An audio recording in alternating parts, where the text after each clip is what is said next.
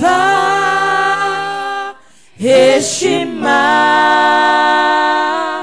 na sifa zote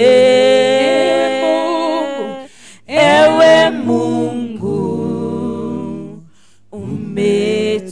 umetukuka So here is my worship.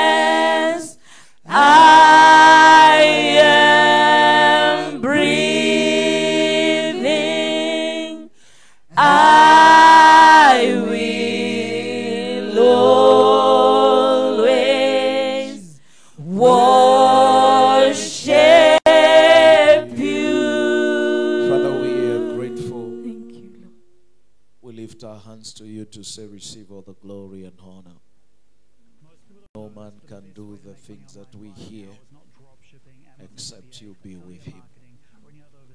We thank you for your presence. We thank you for the manifest of your grace in this house.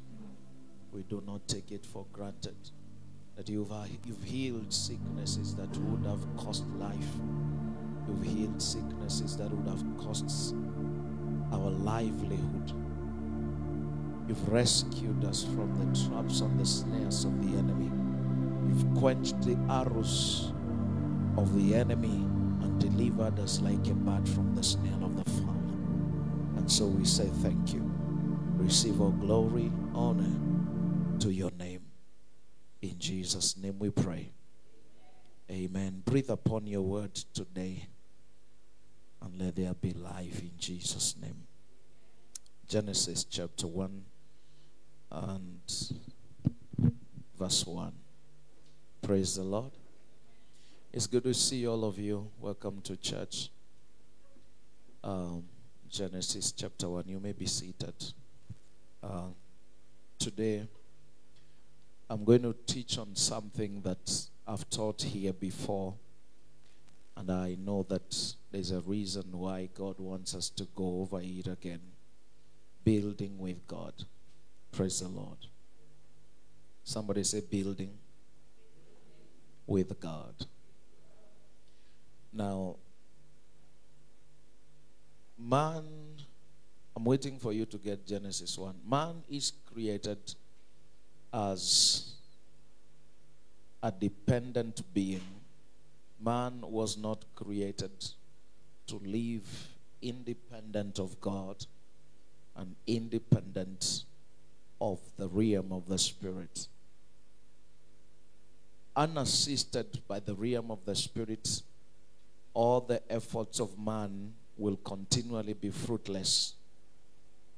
It is the assistance of the spirit realm that brings man to the place of results and possibilities. Praise God. Genesis 1. Bible says in the beginning God created what? The heavens and the earth. I've told you several times that that represents the first creation that was before the fall of Satan. All right? When you read Isaiah 14, it talks about how that Satan fell. And the question is where do you place the fall of Satan in the chronological uh, arrangement of years? It is after Genesis 1 1 that Satan fell, and he was the one that brought about the chaos that we see in verse 2. Are you with me? So, verse 2, the Bible says, And the earth was without form and void, and darkness was upon the face of the deep. Now, there are three things there. The earth was without what?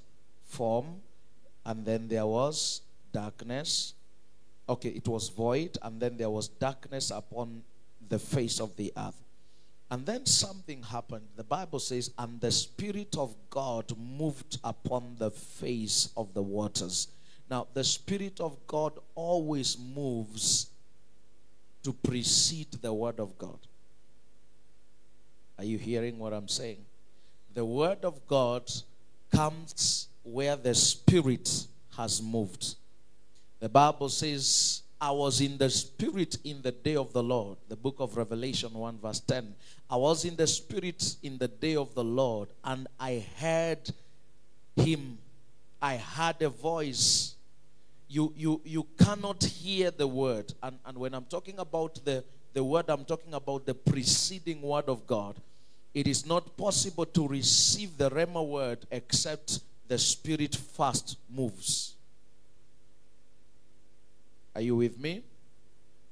The Spirit moves and then the word comes.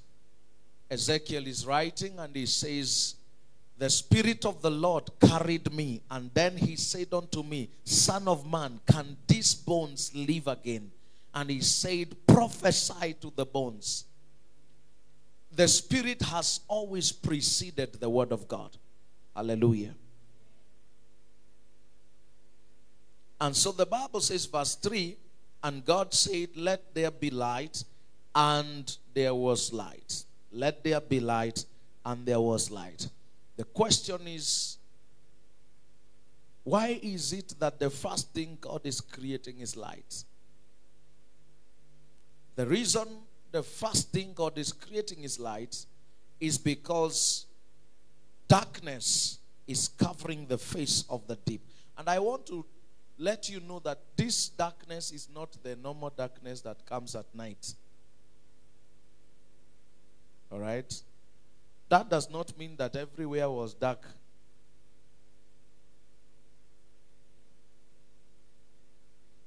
The Bible says that we know that the whole world lies in wickedness, in darkness, because Satan has been released into this world. So, if it was God trying to solve the issue of darkness, what God needed to create was the sun and the moon, not light. Are you following? So it is in verse 14 that the Bible says, And then God let, said, Let there be light in the firmament of the heavens, and he divided day from night. That's the day, night, and day was created in verse 14. So, what was created in verse 3, or what God said, when God said, Let there be light, it wasn't the sun.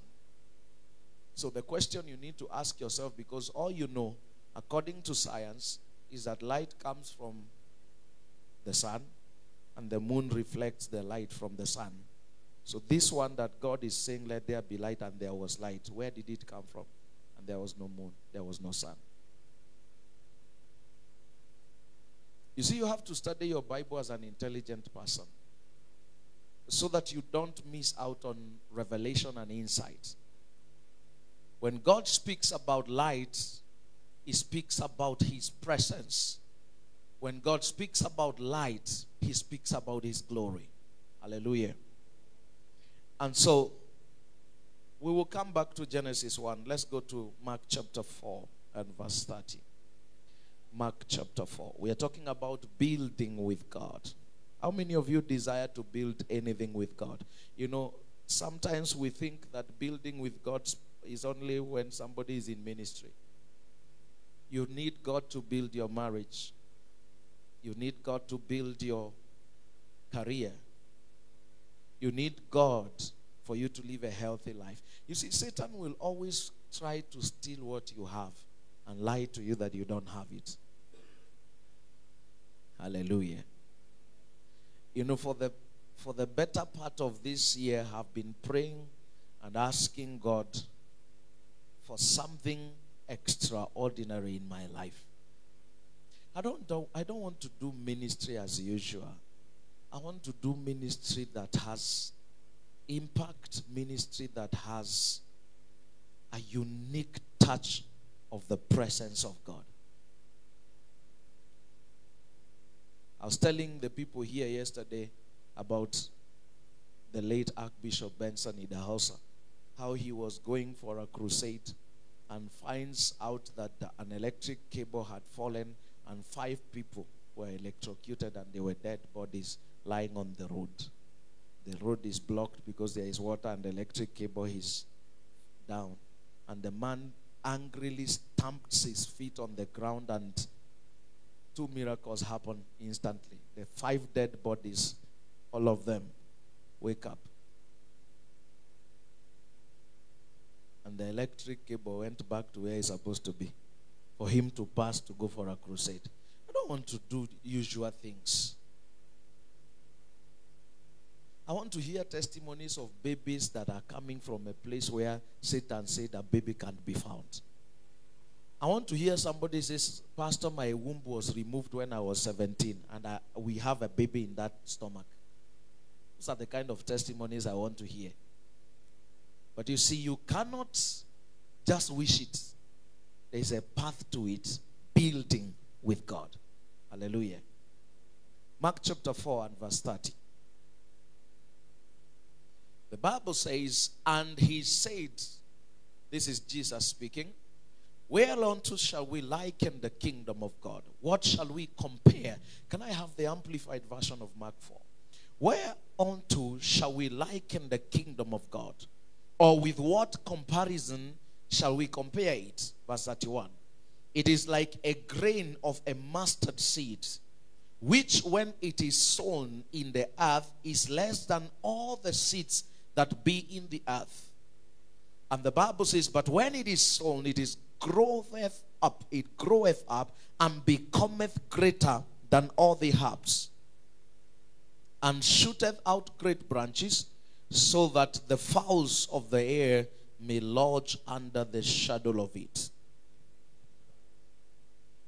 The Amplified Version. It says, And he said, With what can we compare the kingdom of God? With what can we compare the kingdom of God? Or what parable can we use to illustrate or and explain it? Now, we understand that Jesus is trying to explain what the kingdom looks like. Praise God. This kingdom that we are in, he says, What shall we use to explain or to illustrate the kingdom? And he says, It is like a grain of mustard seed, The grain of a mustard seed. How many of you have seen a grain of wimbi? How many of you have seen a grain of wimbi? You see, a mustard seed is 10 times smaller than that.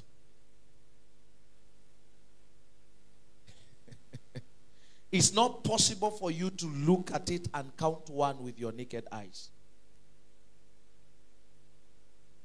So, why would God be comparing the kingdom with that kind of a tiny thing? It's not possible for you to put one single, you can't separate it and say this is one mustard seed. You will need a microscope to do that. And so, why would God be comparing something as powerful as the kingdom with that tiny thing? So, he says, it's like a what? The seed of a mustard, the grain of a mustard seed. Yes, let's move on. which when sown upon the ground, When it is sown, it is the smallest of all seeds upon the earth. it is the smallest seed that you will ever come across in your lifetime. Yet after it is sown, Yet, when it is sown, it grows up and becomes the greatest. now you notice that there is an emphasis on the word sow. All right? Because I'm going to say some statements that I, I, I need you to take note of. A seed has no great value except when it is sown. You cannot tell the value of a seed by looking at it. On the outside, the seed may look big, like the seed of maize. Which other uh, fruit has a big seed for nothing? And then when it grows up, it becomes tiny something that even. Eh? It can be as big as a bean and yet as useless as, as that plant would be. Or it can be as tiny as a mustard seed and then grows up to become the, a giant tree. Did you hear what the Bible said? That even the fowls of the air, that birds will lodge. That's, that's their hotel. That's where. And so, what God is saying that the kingdom cannot be expressed by looking at it. It has to be sown in the hearts of men for it to find expression. For you to be able to know what exactly the kingdom is, it has to find expression through sowing it in the hearts of men. The Bible tells us that the word of God is the seed of the kingdom. Hallelujah. If you go back a little bit in verse 13 or so of Mark 4, if you go back a little bit, um, verse 14 or verse 13. Yeah, verse 14. It says, The sower sowed what? The word. Now, when he gives the parable of the seed sower, and he says one went to sow, and he, he just, you know, those days they didn't use to, they have no machines to plant. So you just stand at one corner of the land and just throw the seeds. Wherever they fall, that's where they will germinate. So he says, you know, some of you have just your your soya. I met my grandfather planting like that. Because when you when you want to plant wimbi, can you count one to put in a in a hole? Can you count one seed? So what they do, they take a bunch of it and just scatter it. And he says, some fell where? On the wayside. Others fell on the stony ground. Others fell on the thorny ground. And some fell on the good soil. But then, at the conclusion of this parable, he tells us the sower didn't just sow any kind of seed, he sowed the word. And so, the different kind of places where the seed fell represents the different kinds of hearts of men. So, look at your neighbor, ask them, is your heart a stony ground or a good soil for the word of God? So are you afraid of them? Is your heart a, a thorny ground that as the word is coming into the, the heart, once it begins to germinate, there are things that are poking the word and renders it unfruitful. You're, you're so fireful praying in tongues, and, but still burning in lust. And, and those become the thorns that, that poke your seeds not to produce. So if the sower sold the word, then we know that the different kind of soils does not talk about just soil. It talks about the hearts of men that received the word. Imagine you being a wayside heart kind of way kind heart, the wayside kind of heart. Where by the time we finish talking to you like this, by the time you walk out of that door, you don't remember anything the pastor said. You're like the seeds that fell by the wayside. The Bible said, and men came and trampled upon them, and, and birds of the air took it. He says, These are they when they receive the word of God. Satan quickly comes and does what? Steals the word. The thing you need to ask yourself why is Satan interested in stealing the seed of the word if it is not important to your life? Unajua kuna vitu unaweza acha mahali na zisipate mtu wa kuiba, si ndio? no, if, if you leave akamlika mwizi somewhere that umefunga na blanda na akana kii zingine utaitwa hey, umeacha simu now why will satan be interested to steal the word from your heart if it doesn't make any difference or if it is not valuable if it is not important. You see the problem with the believer is that we do not think that the word of god is as valuable as it really is. If Satan is interested to make sure that, do you see the number of kind of soils that the Bible talks about? The one by the wayside, the one that is stony, those who have no root, no foundation in God, the one that has thorns, those ones, are the cares of the world. They are so afraid of what will become of their destiny. They don't have time for God.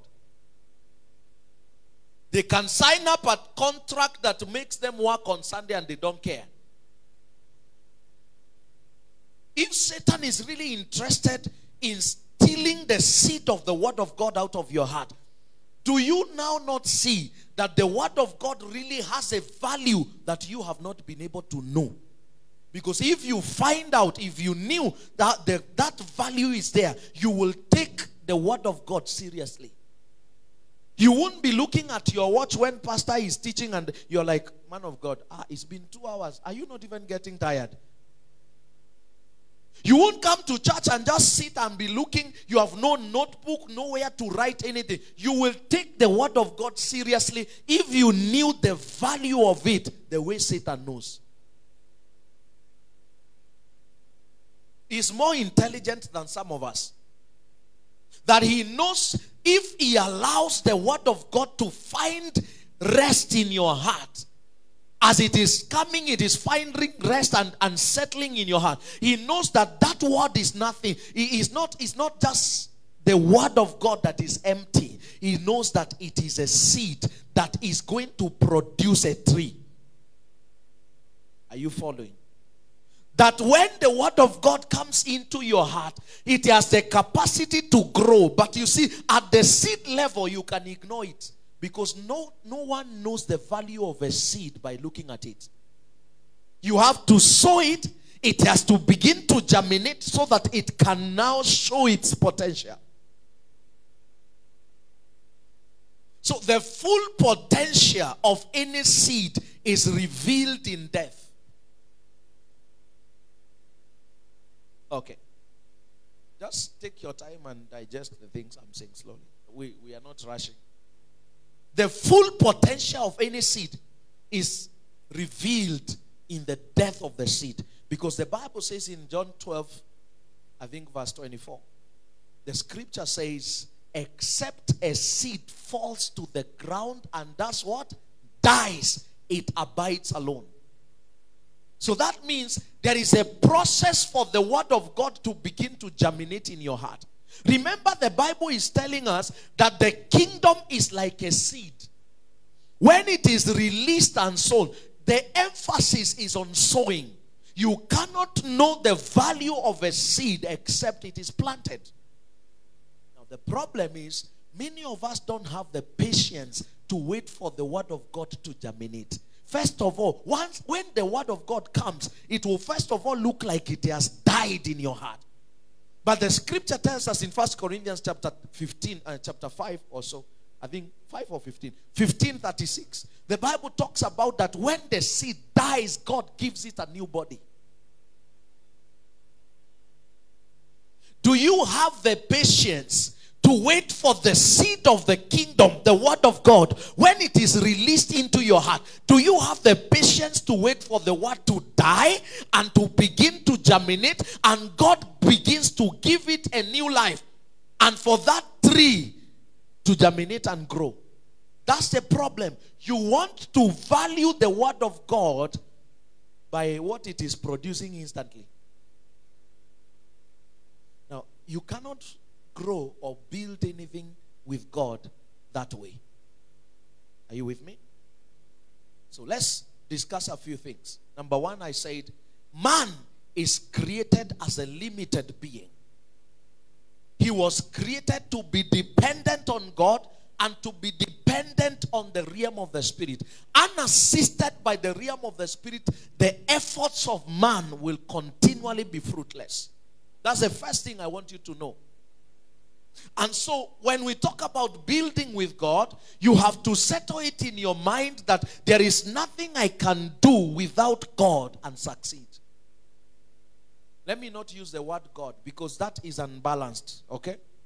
There is nothing you can do without the assistance of the realm of the spirit and succeed. So you either subscribe to the realm of the spirit in a demonic way or to the realm of the spirit in a godly way. So there are those who join Illuminati to prosper. It's also, all of it is one thing. The realm of the spirit has to assist a man. Are you, are you understanding it now? Whether it is a witch doctor you visited or you visited a man of God. You know, it was possible for her to, to go to, you know, she comes from this, this side where they are, they, are, they are very good witch doctors.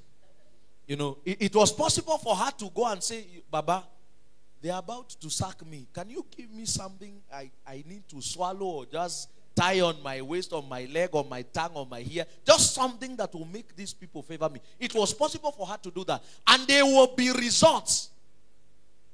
Are you following? That's why I told you Jesus is not the only way to prosper, but it's the only way to eternal life. So you choose whether you want to prosper here and miss eternity or prosper here and gain eternity. The Bible is asking a question What shall it profit a man if he gains the whole world and yet loses his very own soul? That's to tell you it's possible to prosper without God. This is the gospel that you people don't want to hear. God is not the only way to success. Satan gives success too. If he has the capacity to translate himself into an angel of light, is it money he cannot give you? Go and read the book of Revelation and see the system of Babylon, what it gives to men.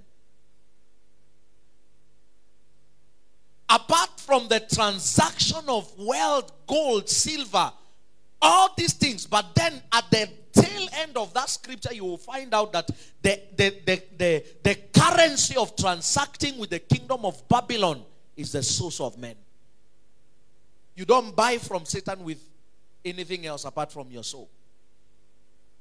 The same thing. You don't buy from God with anything else apart from giving Him your all. Now, but the same Christian who does not understand this will want to get a little from this side and get a little from this side.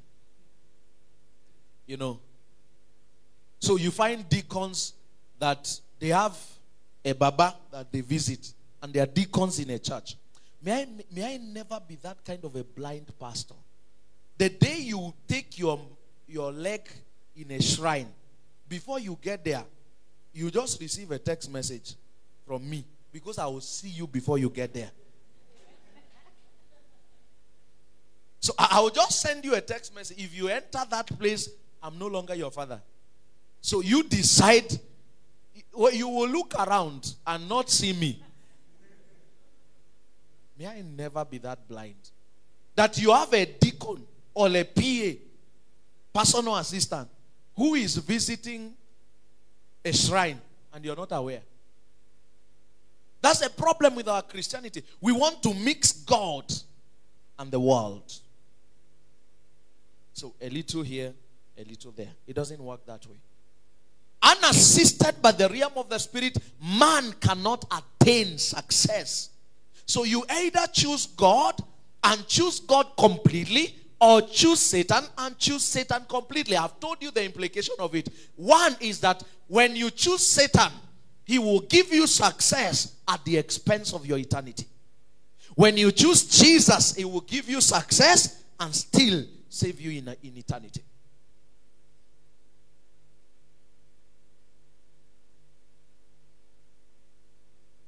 So our connection with God is not optional as Christians.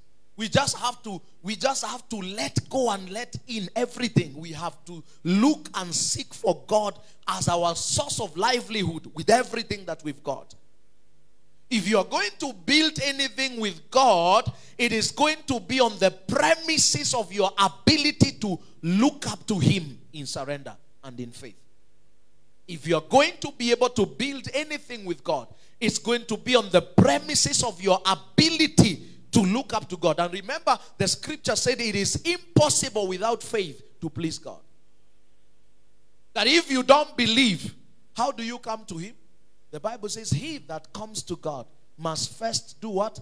Believe. It is belief that gives you access to God. He says he must first believe that He is.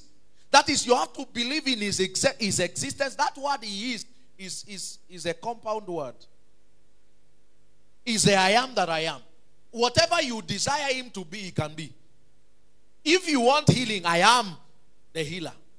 If you want resurrection, I am the resurrection and life. If you want life, I am life.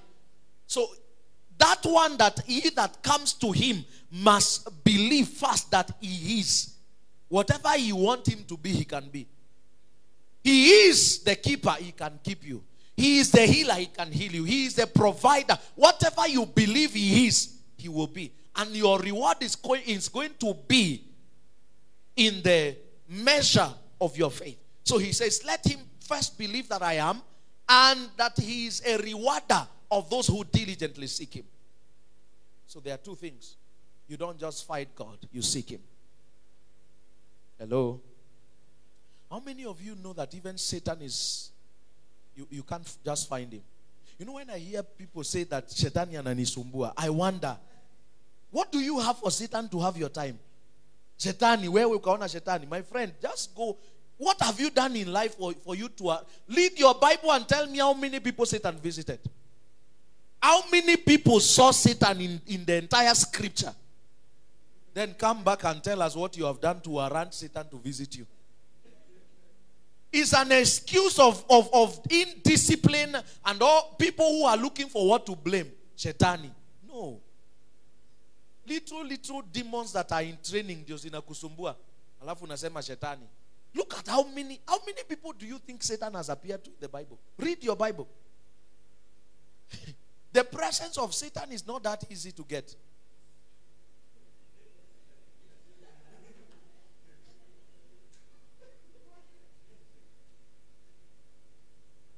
It's okay. So if you are going to build anything with God, it's going to be on the premises of what?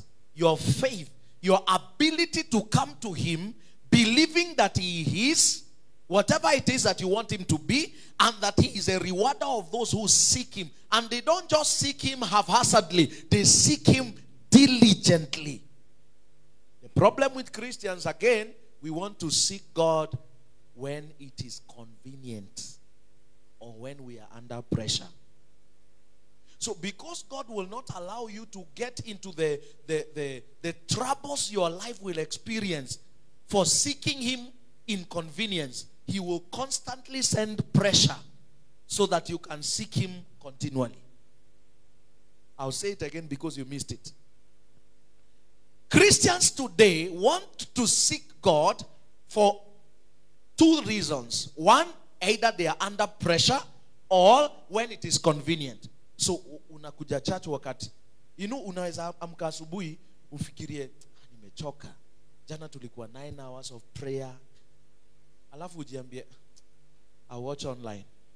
Now that's a, a, a Christian seeking for God in convenience. When it is okay. Have you not seen that when it rains, just little drops on Sunday morning?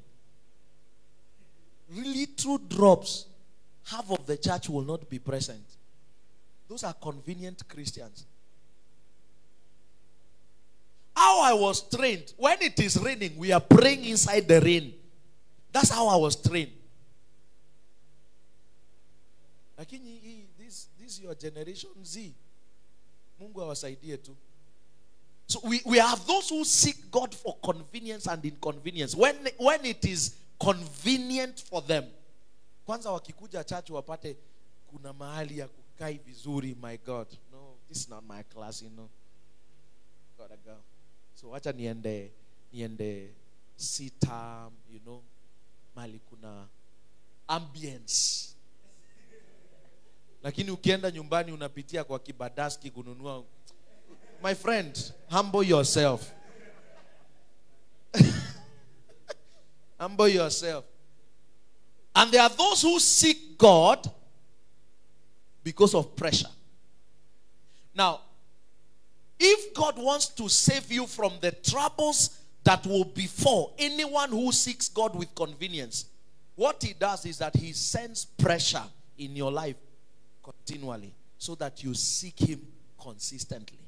So you wonder why you are ever praying and pressure is never reducing. You solve this problem, you get into another one. You solve that one, you get into another one. You solve that one, you get into another. Is God telling you, if I leave you without trouble, uh, you will not look for me? Are, are you okay? If I leave you without trouble, you know, some of you know, if you get little money, your prayer life mpaka mpesa isome zero ndio ukumbuke kuomba unapatanga tu tushughuli hatuna maana you're, you're just busy because you have money god is looking for people who will have millions in their account and just leave it there and face god the way you get anxious when you have money, you just look for plans. Una, unajitafutia shughuli haukuwa nazo because you have money to do it. Now, that's a report from God that you, you are not stable in blessing. So he will keep the supply coming intermittently. That's today you have, tomorrow you don't have. So that that way he is sure of your appearance in the throne. Wisdom dictates that you get to a place where you don't seek God circumstantially. You seek God because that's your lifestyle. Whether you have or you don't have, you're in His presence. Whether you have enough and more than enough, you're in His presence. I've told you, I've seen people who pray, and when you look at them, you think these are closer to God than I am. Wait until they get blessed. Just a little blessing. Then you begin to see their commitment to God begin to dwindle. Th- This is a person who used to be the first person in church, used to be the first person to do this. Suddenly now they are a bit busy, you know. We are blessed.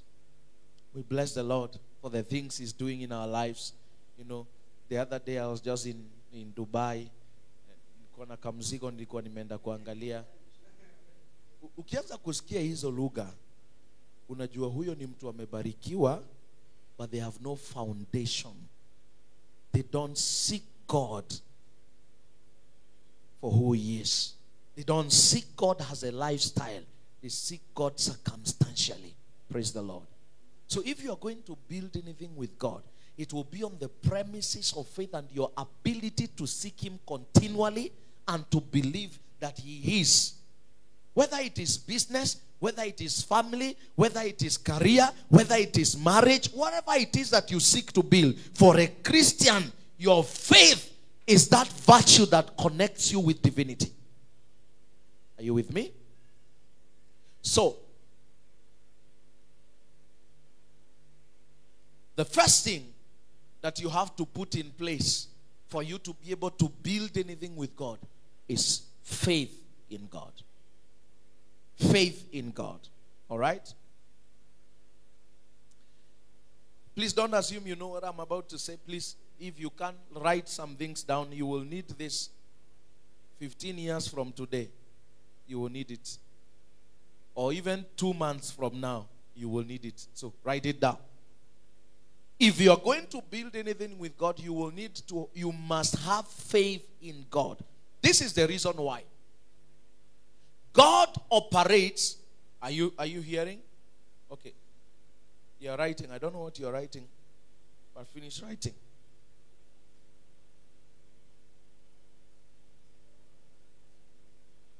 God operates from the future backward.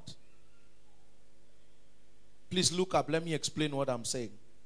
God builds from the future. He builds how? Backwards. So he begins from the realm of the unseen and comes to the seen realm. So everything God is going to build with you is going to start from a seed level. Don't ever forget that. Everything God is going to build with you is going to start from what? A seed level. That is why you need to have faith in God. Because in the beginning of God building with you, there will be no visibility of what is happening. You are just seated here. You're just receiving the word of God. One year comes and goes. It doesn't look like there is anything serious happening in your life. But please believe that there is a seed of God that is happening in your life. When it is time to manifest in the physical, you will now see the, the results of it. Praise the Lord. I said, Praise the Lord. Everything God will do with you will start from a seed form, a seed level. Even the creation of the world started from a seed level. And God said, Let there be. We don't know what was the period of time between when God said and when it was. Are you following? So you've got to have faith in God because God can call you a millionaire today and you have nothing. He called Abraham the father of many nations. At that time, his wife is barren, no child. 25 years down the line, he's still a father of none, but according to God, the seed he has released in him is being a father of many nations. That's why I said you have to have faith in God if you're going to build anything with him. Are you getting it now? So by the time God is calling Abraham and he say, look at the stars of the heaven. If anybody can count them, this is how your children are going to be. Abraham has no child. He says, I have made you a father of many nations. When God makes you, there is a process to it. It begins from the seed level. So you've got to hold on to faith. You have to believe God. What is said, even if it cannot be seen physically, you have to believe it is there. Oh, God said, you know, let me tell you, uh, uh, if you are not married, hello, if you are not married, and every time you pray, or every time you engage God on that issue, the vision you see is of you with your children, taking them to school, taking them to where where, where is the other place people take their children? Huh? Bouncing castles. That's that's the, the vision that you see after praying for a husband. Now, let me give you wisdom. The wisdom is you cannot have children without a husband. So stop praying about the husband. God already settled it. If you do not have peace to believe God and wait on God even when what is in the physical does not look like what God promised, you can't build with God. You cannot build with God. Hallelujah. He will always begin from a seed level. The seed is the word of God. Remember that? The seed is the word of God. So every time God wants to do anything serious in your life, what he does, he sends you a word.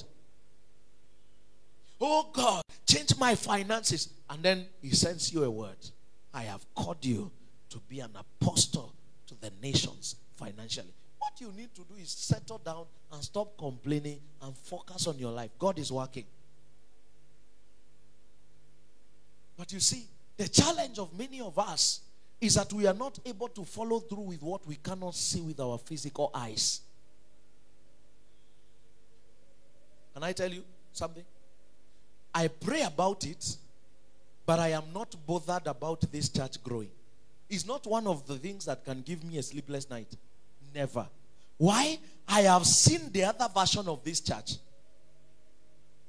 Okay, let me explain. I have seen the other version of an auditorium that is full of people. So, for me, this is temporarily. I, I don't have, you know, Paul talks about it. I think Second Corinthians chapter 4. Let's look at verse 17, if I'm not wrong. Second Corinthians chapter 4 and verse 17. Second Corinthians 4 and 17. The Bible says, this is Paul speaking, for our light affliction, he calls it light. Affliction can actually be light. It depends with from what lenses are you looking at it. He says, Our light affliction, which is but for a moment. Now, those are two very powerful things you need to put in your mind. That affliction can be light and affliction can be temporal. This lack of rent is not your destination. That you don't have school fees today does not mean you will not be in school the rest of your life. Look at this one. How many? 25 years after finishing high school is when she's in college, according to the calendar of God. There, there might have been issues here and there, but eventually she's in school. Right? The problem with you is that you want it your own way. That's the issue. Your own way, not God's way. So he says, Our light affliction, which is but for a moment. Let it sink into your mind that whatever Satan throws to you is not permanent. Please help me preach to your neighbor. Tell them whatever Satan throws to you. Please say it loud. Whatever Satan throws at you is not permanent. Don't give it the attention you are giving it. Some of us have made decisions on who to marry based on a temporary affliction. Okay. Can we talk about it? You have an abusive father, and you decide for me to escape this chaos in this family, I just need to marry. The report is that you are stupid. You are not wise. Okay, let me use a better word. You are not wise. You cannot marry to escape an abusive father. What if you land in an abusive husband? What do you do? Marriage is, is, is God. It, it has to be God. You can't you can't do some things because of a temporary affliction. You make a permanent decision. You can't do that. So it's got to sink into your head that whatever Satan throws at me is not permanent, is temporal. He says it cannot be compared to the glory that he works in us that shall be revealed. It worketh for us. Now, this is the part that many believers don't think is serious. That the affliction is, is, is on assignment. Like I said, when God notices that your ability to seek Him is based on circumstance and pressure, affliction many times for you will not be demonic. It will be God trying to school you. And your the assignment of the affliction is to bring you to a place. Is working for you, not against you. read the Bible. Wait, go back. Let's let's read. For the light affliction, which is but for a moment, worketh for us, not against us. Hello? The affliction is working for me. Say it. The affliction is working for me, not against me. Yeah, so kama hauna rent na umefungiwa nyumba, is there's nothing. See, let me tell you, God has no problem providing rent. The question you need to ask yourself what lesson am I not learning? Because the affliction is there to work for you, to work for you a far much exceeding great glory. Now look at the next verse, verse 18. While therefore, this is the this is how you are able to to navigate through those seasons of afflictions. He says, while we look not at the things which are seen, but at the things which are not what? Seen. That is how you navigate your seasons of trouble and affliction. You fix your eyes on the things that are not seen, not the things that are seen. Because what is seen is that your house is locked. What is unseen is that you're a millionaire. what is seen is, is, is that you're suffering now. What is unseen is that God has already established and settled you. You might start a business, and for the first one month, your profit is 2000 or 1500 or even 250 as profit na uko na rent kulipa umekuwa hapo 8 am every day the issue is that's what is seen what is unseen is you needed to have stayed with god and you needed to have seen the future of that business. If you see the future of the business then forget about what is seen now. Focus your eyes on what you saw in the future. Are you following? So he says, while we look not at the things that are seen, but the things which are not seen, for the things which are seen are temporal, but the things which are not seen are what? Eternal. What God shows you as the future of your marriage life is what you should focus on. Not that, Lord, you know, I am now 39. Forget about it. What did God show you about your tomorrow?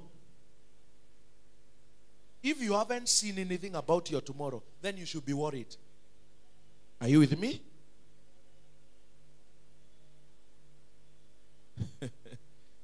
but if you have seen it, then calm down. Whatever is happening right now, Paul is telling you is what? Temporal. The word temporal means they are subject to change. They can be changed. They, are, they, will, they have an expiry date. My greatest concern is to tarry with God until I see tomorrow. So when you hear me, somebody say, "Oh, pastor, God has, uh, doctor has said we should, we need to do surgery and do it now," and then I say, "Don't do it." the reason why I have the confidence to tell somebody who thinks they are dying not to do it, I have seen their healing. So your ability to navigate this season is dependent on how much of tomorrow have you seen. Are you with me? But you see, many believers think that's the realm of pastors. That's how that's what you lie to yourself. What happened to your spiritual eyes? Are you blind spiritually?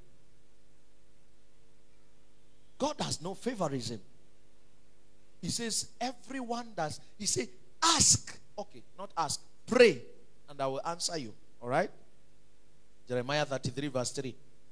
Let me show you how to see into your tomorrow, okay? Jeremiah 33, verse 3, he says, Call unto me, and then I will do what? I will answer you. And then, on top of answering you, I will also show you great and mighty things that you do not know because they don't exist here.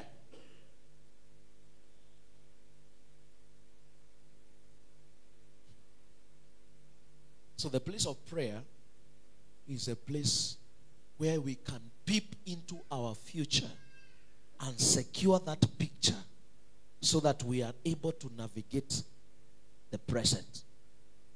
Are you with me? The place of prayer is the place where we can peep. You know, like somebody who is looking through a hole or a camera. We can we can peep and see the image of our tomorrow. And once we do that in prayer, it gives us the, the strength to navigate the present It doesn't matter how difficult. The reason why I, I will preach with confidence like this and, and just I'm enjoying my life because I have seen the future of this ministry. I know where God is taking us. For me, it is settled. All I need to do right now is to, to stay on course. Are you with me? All I need now is to stay on course and just stay with God. We will, we will come out where He showed me. So I'm not worried. I pray about it oh, because sometimes Satan wants to step into what God has showed you and divert it or hinder it or delay it. Okay? That's the place of prayer. So what what the greatest gift you can give to yourself is to see your future. That's the greatest gift you can. It, it has more energy than ugali. You know kavagara. It has more energy than just. It will, it will, it will sponsor strength in your heart when, when the, the moment you're so down, when you remember the picture of where he showed you, you wake up. If you haven't seen it, then that's the biggest problem we should be solving today. You will follow God by faith. But let's then we will get into that. Okay? We'll get into that. Let look, let's look at a few things. So God will always begin with the seed of the word. And when the word, the seed of the word is what you need to conceive greatness. Everybody will do exploits with God. They conceived greatness by the seed of his word. Whether that was a prophetic word or it was a rhema word that came to them or a vision God showed them, everyone who does exploit with God, they, they received and conceived that seed of greatness by the word of God. Hallelujah. You must therefore learn to trust God, trust the invisible. Look at Psalms 33, verse 6. Let me show you a scripture. Psalms 33, verse 6. Psalms 33 and verse 6. It says, By the word of the Lord were the heavens made, and all the host of them by the breath of his mouth. By the word of the Lord was the heavens made, and all the host of them, and everything by the breath of the Almighty. So you need to know that when God speaks to you, that word carries the, the, the potency to create the reality He showed you. Are you with me? Hello? Good. So, anyone who walks by sight cannot build with God. Anyone who walks by sight can't build with God. Anyone who wants to see the physical results so that they can believe. That's what it means to walk by sight. Jesus told Nicodemus, blessed. Is it Nicodemus now or, or Thomas? I think it's Thomas. He told Thomas, he said, Blessed is he that believes without what? Seeing. That's where the blessing is. Anybody who walks by sight cannot build anything with God. For you to believe that God has blessed you with a good marriage, you, you need to see it physically. You don't build with God like that. You need to believe first what He has shown you the invisible. Believe it. Are you with me? So, God showing you your tomorrow or where He intends taking you, either through a vision, through a dream, through prophecy, through the proceeding one, should be the seed that you need to conceive greatness. You're looking for too many things that are not lost. The only thing you need is the Word of God. Is the seed that gives birth to everything else. Remember, I'm not limiting that word to just the, the logos. It can be the proceeding word. It can be a prophecy that somebody just in a moment sees in the realm of the spirit and I, I see you in Canada. That's, that's what you need. The moment you hear that word, if you believe it, that's all you need to conceive greatness. So when God wants to calm our, our anxiety a little bit, Even when you're not praying, He carries you into the vision of your future. When He realizes you're becoming too anxious, you're almost giving up on yourself, He begins to show you your graduation. And you're wondering, God.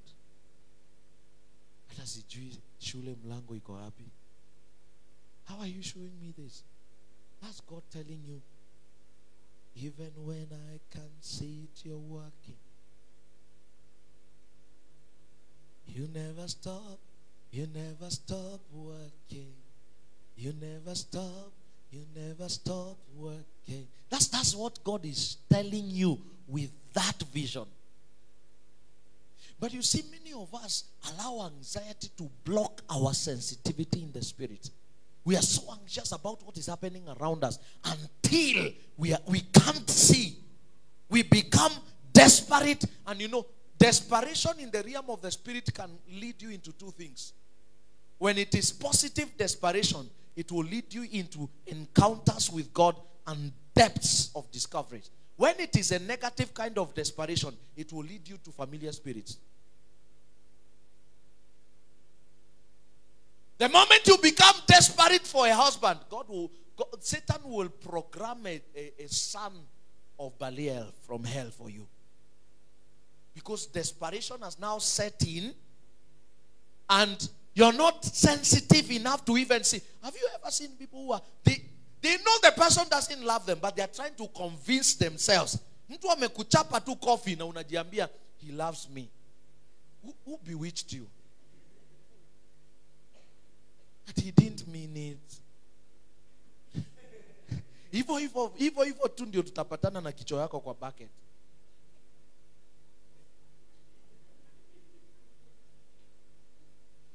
He didn't mean it. One of the character of love is that love protects. Are you with me? One of the character of what? Love is that love protects. So if a man slaps you and you're dating him, when you marry him, you become a punching bag. Don't convince yourself things that are not there because you're desperate. Don't ever get in where where you're desperate. Even if even for a job, I've seen people sign trash as contracts because they are desperate for a job. Ati umeitwa job KBL na umeenda na wewe ni Asha. Wine and spirit ndio iko available. So uh, I'm just my friend.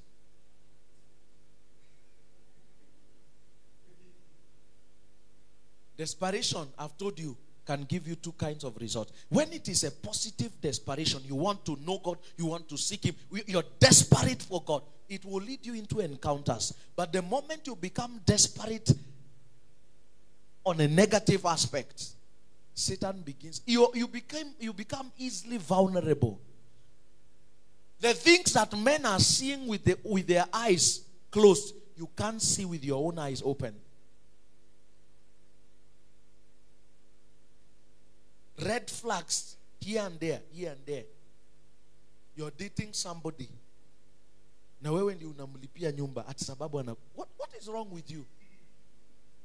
How do you pay a man's house rent as a woman?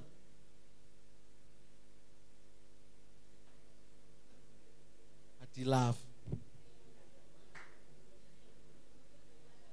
You know, next month we are going to have a single seminar on the 6th of, of, of, of August. Please make sure you come. Because many of you after that day you will dump somebody. I promise you. And it will be God saving your life from destruction. Hallelujah. How, do you pay rent for a man? Huh? That's, that's Sunday. I know it's a Sunday. I know. I want to put it on a Sunday so that there will be no excuses. So it's Sunday afternoon. Praise God. How do you pay a man's rent? Unataka kuoa mtu haezi kujilisha. What of the day you marry him and now you lose your job? kijana tu analala kwa nyumba ana watch tv amezoea kupewa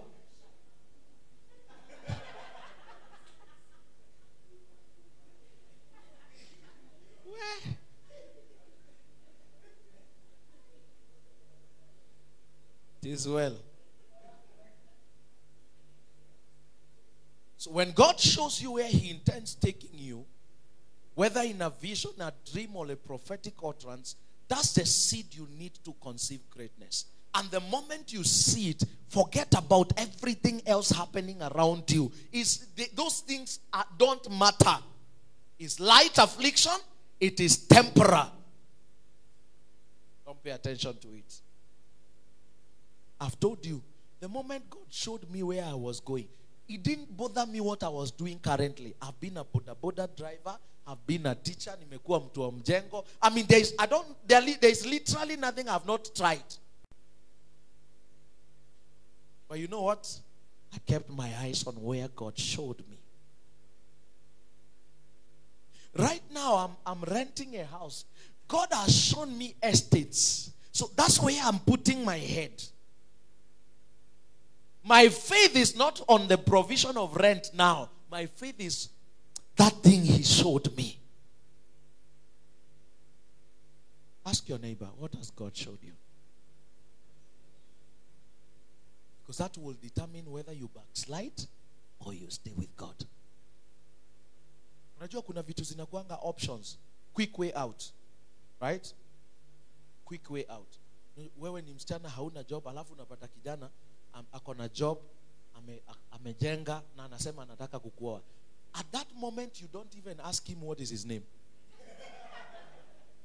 You don't remember. There are things that are not important. I need to run out of this situation as fast as now. The next thing, when are you coming to see my father?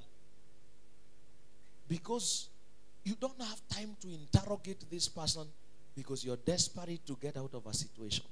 It, it looks like a quick way out because something is wrong with where you are now. I'm trying to tell you, is Satan sometimes programming your mindset the wrong way? What we what the Bible calls strongholds are not actually demons. Many times they are not demons. Many times there is no altar fighting you. Many times no witch in your village is interested in you. You don't have anything. Many times it's a programming of the mindset. Did you hear what the Bible said? It says, Our weapons are not carnal, but they are mighty through God to the pulling down of what? Strongholds. Pause there. And then he puts a semicolon to explain to you what strongholds are. And he says, Read with me. Continue now. Casting down what? Imaginations. Now, wait. So, this thing is calling a stronghold is an imagination in your head. The moment you begin to see yourself as 55 and you're still not married, is an imagination that Satan is programming in your head. So the moment he programs that, the next place you enter into a panic mode. And the moment you enter into a panic mode, desperation sets in. When desperation sets in, you accept anything. Casting down imaginations. Eh? And what? Every high thing that exalts itself above the knowledge of Christ, the knowledge of what Jesus has showed me. Anything that bring itself above that, I cast it down. That's a stronghold. Anything that wants to tell me that I'm not going to enter into the kind of blessing God has shown me, I cast it down. And he says, bringing every thought to the obedience of Christ. So you think you are in a battle. Your battle is to help your mind calm down and believe God. That's how you that's how you you you gain mastery in faith. Casting down imaginations and every high thing that has exalted itself above the knowledge of Christ, and bringing every thought to the captivity of where God is going with you. And that's it. The moment you are able to tame your mind to think where God showed you, there's nothing in the present that sustains the capacity to fall you. Hallelujah. Are you learning something? So, when God shows you your tomorrow, is the only seed you need to conceive greatness. God will, God will only build with those that are willing to go beyond the natural sight and walk by faith. God is only going to build with those that are willing to go beyond what can be seen with the eyes of men and walk by faith. Glory to Jesus. All right. So you, you, you don't pay too much attention on of what is happening in the natural when you already know. It is deceptive. The occurrences in your life right now are deceptive. They can make you think that God is, has left you. Meanwhile, God has not left you. Let me tell you, you know, can I give you a little story? Maybe to encourage some of you. My elder sister, mwenye alikuwa hapa wine press last year. You remember her, Pastor Jennifer? Where did she come from? From the US, right? That lady is the smartest amongst us in our family. Because Jennifer was an A student from class 1 to form 4. The last exam she did before KCSE, she had a plain A. Guess what? She does her KCSE and gets a D plus. Yeah.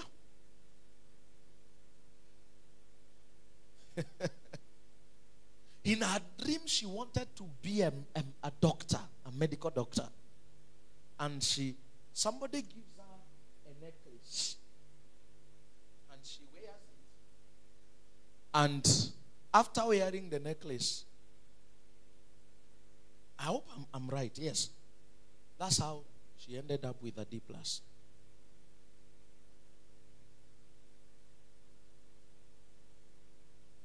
Najua mmeanza kukimbia mavueni ati ku- kuonewa nyota. Come back here. Come back here. That's, that's, not, that's not the path we, we are to follow. So, listen. After that, guess where she lands? She, bec- she becomes a house girl. She knew what happened to her, so she didn't want to repeat school. They begged her.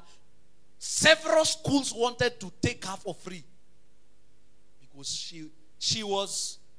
They knew that no something went wrong. The school came. The headmaster came home looking for her. Come back to school. You won't pay nothing. Just come and write your exam again. She said no.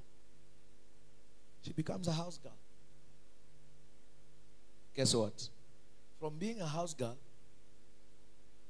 somebody sees her goes to Nigeria, gets a scholarship for Bible school, and gives her from house girl into the plane to Nigeria to Bible school. Goes to Nigeria and meets her husband, who is the a lecturer in that sc- college. A few years after their marriage, wins American citizenship lottery goes to America, enrolls for psychology classes. Right now, she's doing her master's degree. She's working in a hospital. God has many paths to bring you back to where He wanted you to be. You don't have to give up. Imagine now, are you seeing that path? From failing to house girl, from house girl. I mean, if you met her as a house girl cleaning somebody's clothes and, and changing diapers for somebody's children, would you think she will be where she is today? That's what I'm telling you. Keep your eyes on where God showed you you are going. What is happening now is it can be deceptive. If you allow Satan use it to program your imaginations and program your thoughts, it will deceive you to fall. Don't make decisions based on what you're going through now. Make decisions based on where God is going with you. Is somebody hearing me? And I pray for you that in the name of Jesus, if you're in that phase of life where it looks like nothing is working, may God show you your tomorrow. In the name of Jesus. May God show you what is going to happen with you five, ten years from now. And may that be the source of your seed for greatness. the value of a seed, like I said, cannot be seen with our na- na- naked eyes. The value of a seed is known when the seed has been sown. The full potential of any seed is revealed in its death.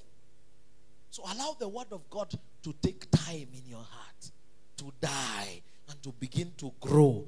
What you will become has not been seen.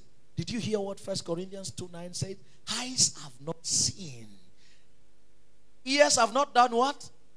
They have not heard. This is God's prophetic word for you.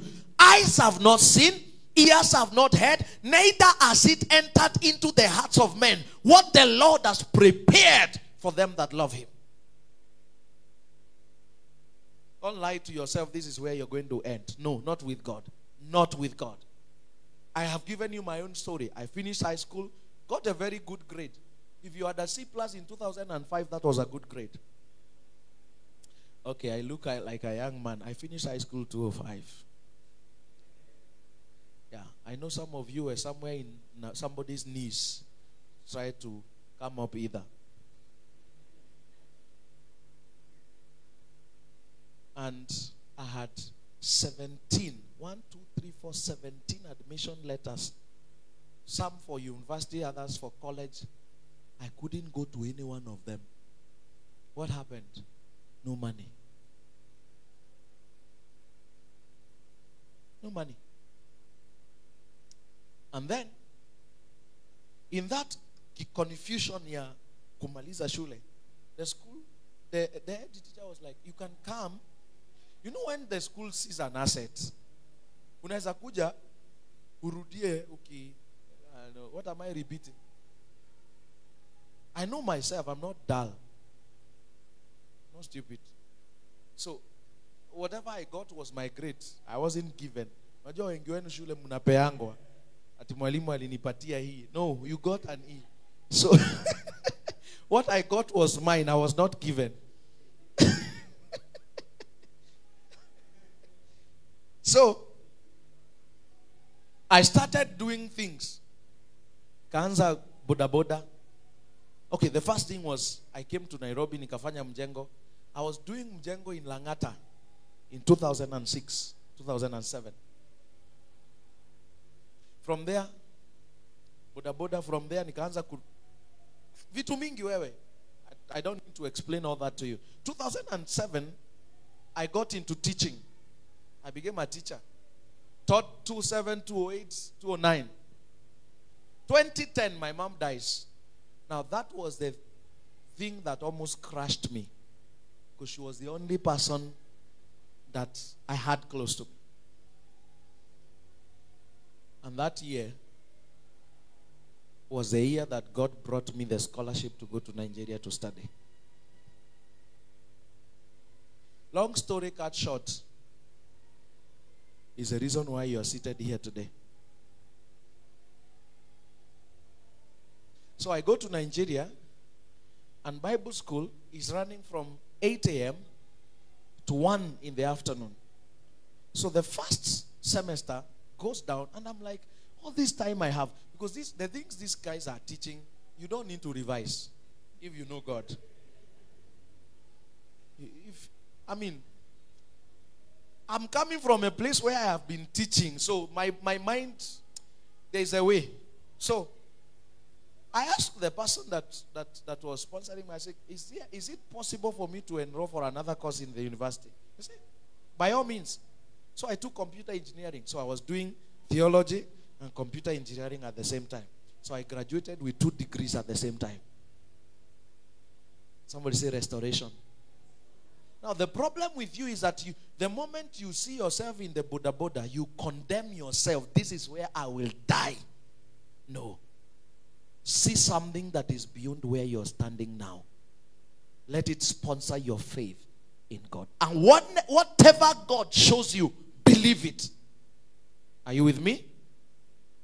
You don't need to know the how, just believe it. Leave the how to God.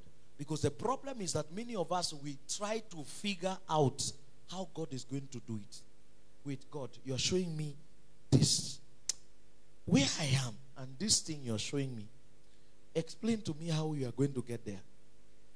That's not your business. Your business is to believe God. All right? Just believe what He showed you and take everything else as a joke. Number two, what do I need to do to build with God? Are you getting blessed, somebody? I'll try and see whether we can exhaust this today. If we not, if we are not able to, then we have a part two next week. Is that okay? Then this means number two that you have to have value and respect for God's word. Have what? Value and what? Respect for God's word. Let me explain what that means.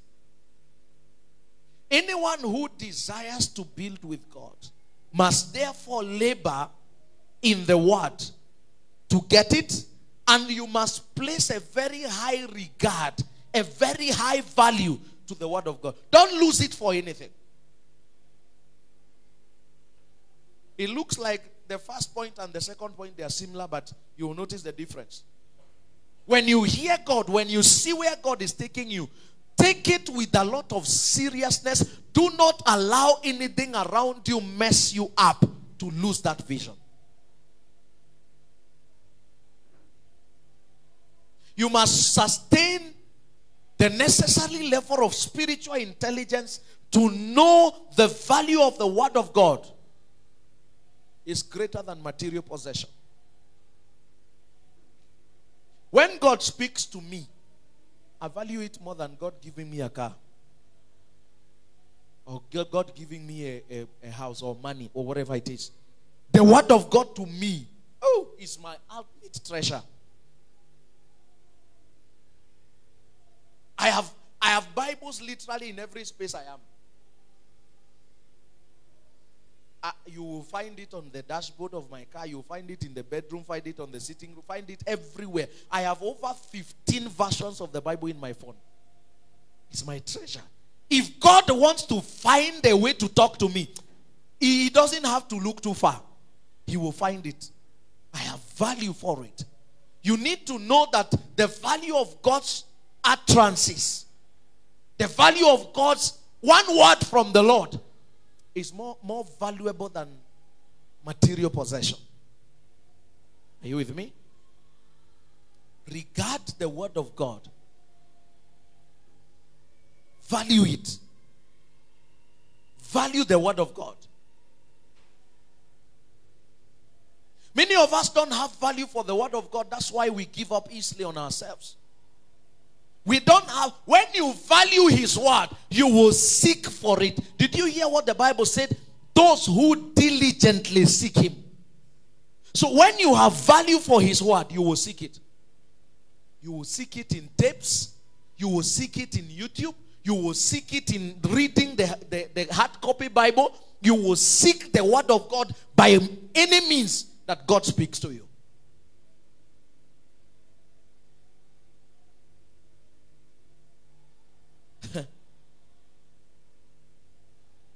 God calls people who have no value for spiritual things profane people. He calls them what? The word profane means someone who has no regard for spiritual things. You remember Esau? For what do they call it? The Bible calls it a morsel of bread. He sold his birthright. And birthright, to him, it was just nothing. What is a name when I want to die? Ati sasa niambiangwe mimi ni firstborn na nimekufa na njaa. But you know the question is, Was, Jac- was, was Esau really going to die because of one day's hunger? The, as far as I'm concerned, mama yake alikuwa ameambia Jacob, you get in here, take a kid, slaughter it. It means that family had possessions. Hakukuwa na njaa nyumbani. It's just that he didn't value. He said, What is birthright to me when I die? The way you ask yourself, What is, you know, somebody in our generation, it is not weird to hear somebody slept with someone to get a job. It's not weird. No, people don't care. Yesterday night, I saw a very disturbing video. You know, once you're scrolling on Facebook like this, and then you, you just stumble on a, on a video. Especially this, I don't know, whoever brought the idea of reels needs to go back where they came from. So I'm scrolling this, and I see a man walking with a woman completely naked. She wore a dress, but the slit of the dress is here, and she has nothing. And, and the man is walking by her side, well suited. So that you know, women, a demon is following you. How does a man wear shirt, tie, suit on top of it? Na wewe umeweka mapaja wazi. In this July cold, what is wrong with you? Who are you trying to impress? The man you are trying to impress has covered everything he has. Who told you that you need to ex- expose yourself? But this is the same generation I'm telling you. It's not weird for somebody to sleep with a CEO, a boss, or someone who has the capacity to give them a job. You have already traded your birthright for a job. A job that tomorrow, if the company closes, will you blame the person you slept with? Don't forget that they sacked you. Sacking you is far because maybe he will protect you. If the company runs bankrupt, what will you do? And you've already lost your virginity to a job of 50,000 Kenya shillings. The highest level of foolishness ever. But you see, somebody will ask, kanairo virginity inanisaidia na nini? What is this thing helping me with?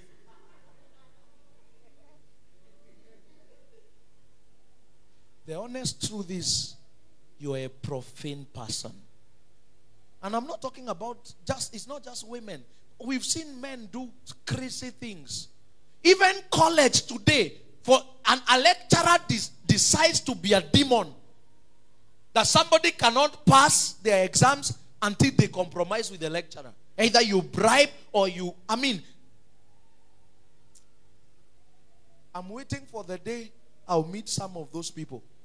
I'm not the kind of person that will pray for peace and mercy for you. It's judgment.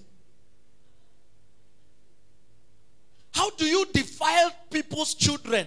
Every girl that passes through your class you've slept with, that thing needs to shrink back. So that you will know that there is a God in heaven who cares about people. At the end of the day, you you you the person that is sleeping with people and the one who is getting the job or the, the exam or whatever it is, all of you have no value for spiritual things. So you look at what you have now and, and think that is so important than your destiny and than your eternity. Praise the Lord. Your eternity is more valuable than anything you will ever get on the face of the earth. Jesus made a comparison. I told you that in the beginning. He made a comparison. He says, What shall it profit a man? As in, what is the value of you gaining the whole world at the expense of losing your soul in eternity? The- when he compared, do you know what it means to have the whole world? There's no one single man that has the whole world. But God is saying, even if there was a capacity for you to be the president of the world, Imagine how powerful the president of America is. If you are the president of the whole world, he says, if you have that to yourself and you lose your soul in eternity, there is no profit in that material possession.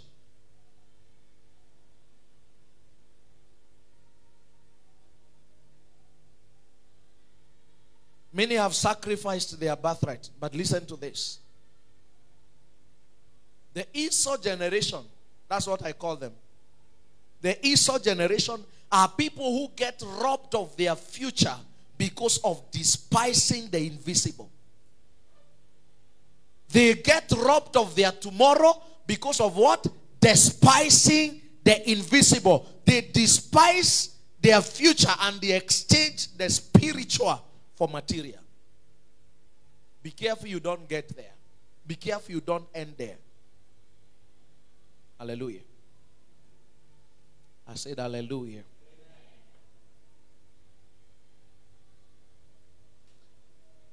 Only what is founded in the Word of God can stand the test of time. We must therefore seek to know the mind of God before we can found anything. Before you can begin to want to build anything, seek to know is God in this thing for me. Before you say, Yes, I do to anybody, it doesn't matter the, the quality of flowers they give you. Forget about the diamond in the ring. First of all, is it the mind of God for you? If it is not, just stand up and walk away. You know, I don't want to hurt him. He's been good to me. Those are some of the lies Satan gives people to enter into the wrong marriage. And listen to me, young men and young girls who are investing more than you should invest with in relationships. Be careful. You have no business treating, treating someone like your husband when they are your boyfriend. Unatembea kwake Saturday, unakujanga kama mamafua. Sato. You come, you wash, cook, unapika mpaka chakula ya wiki mzima.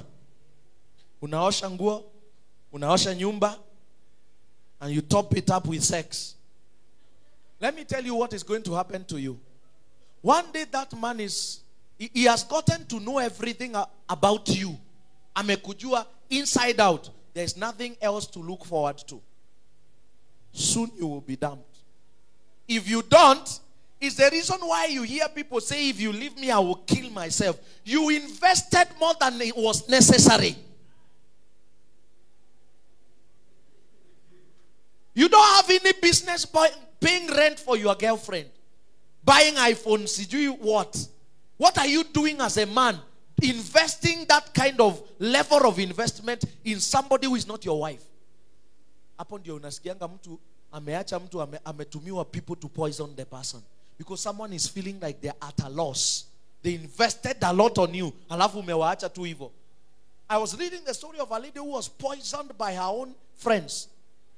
Because she left a man and the man couldn't take it. Sent her friends to poison her. Somebody was telling me that story in December.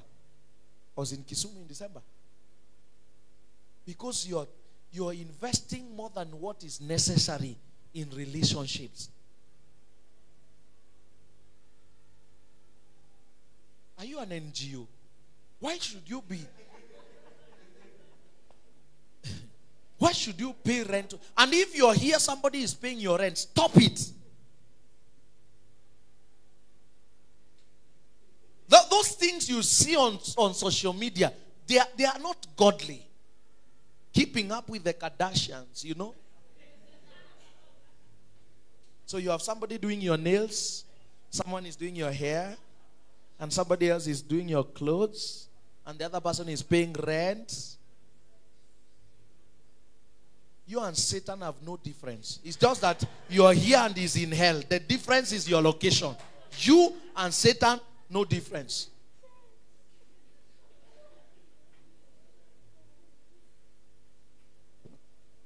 I'm, I'm saying these things intentionally because we are in a generation that needs wisdom. You're dating somebody, they don't become your responsibility. The reason you need to define every stage of your relationship. There's a stage where you can pay somebody's rent, I don't deny. But that person should be the person you've already started paying dowry for. Don't pay rent for somebody who is in college. Come on. Define your, your relationship stages and put boundaries. Else, you will find yourself in places where you are not able to snatch yourself out. Somebody is paying your rent, buying your clothes, fixing your hair. When they ask for sex, you have no right to say no. Give it. You have no right to say no. What? In exchange for what will a man do that for you? Be wise as a woman. Don't be stupid. What, what in exchange for what will a man be investing 150,000 to buy you a phone? You're not his mother, you're not his sister. Be wise. And hell is the only place that will be conducive for people like you. Except you repent. Except you repent. Number three.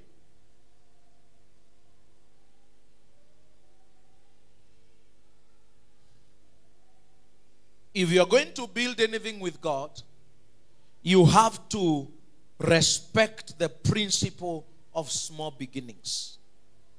This is so important to the young people. You have to do what? Respect the principle of small beginnings. This is the third quality of anyone who is going to build anything with God.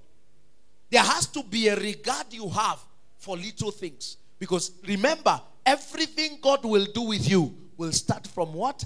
A seed level to grow to become what He showed you. So one must get to a place where you know that starting small does not mean you will add small.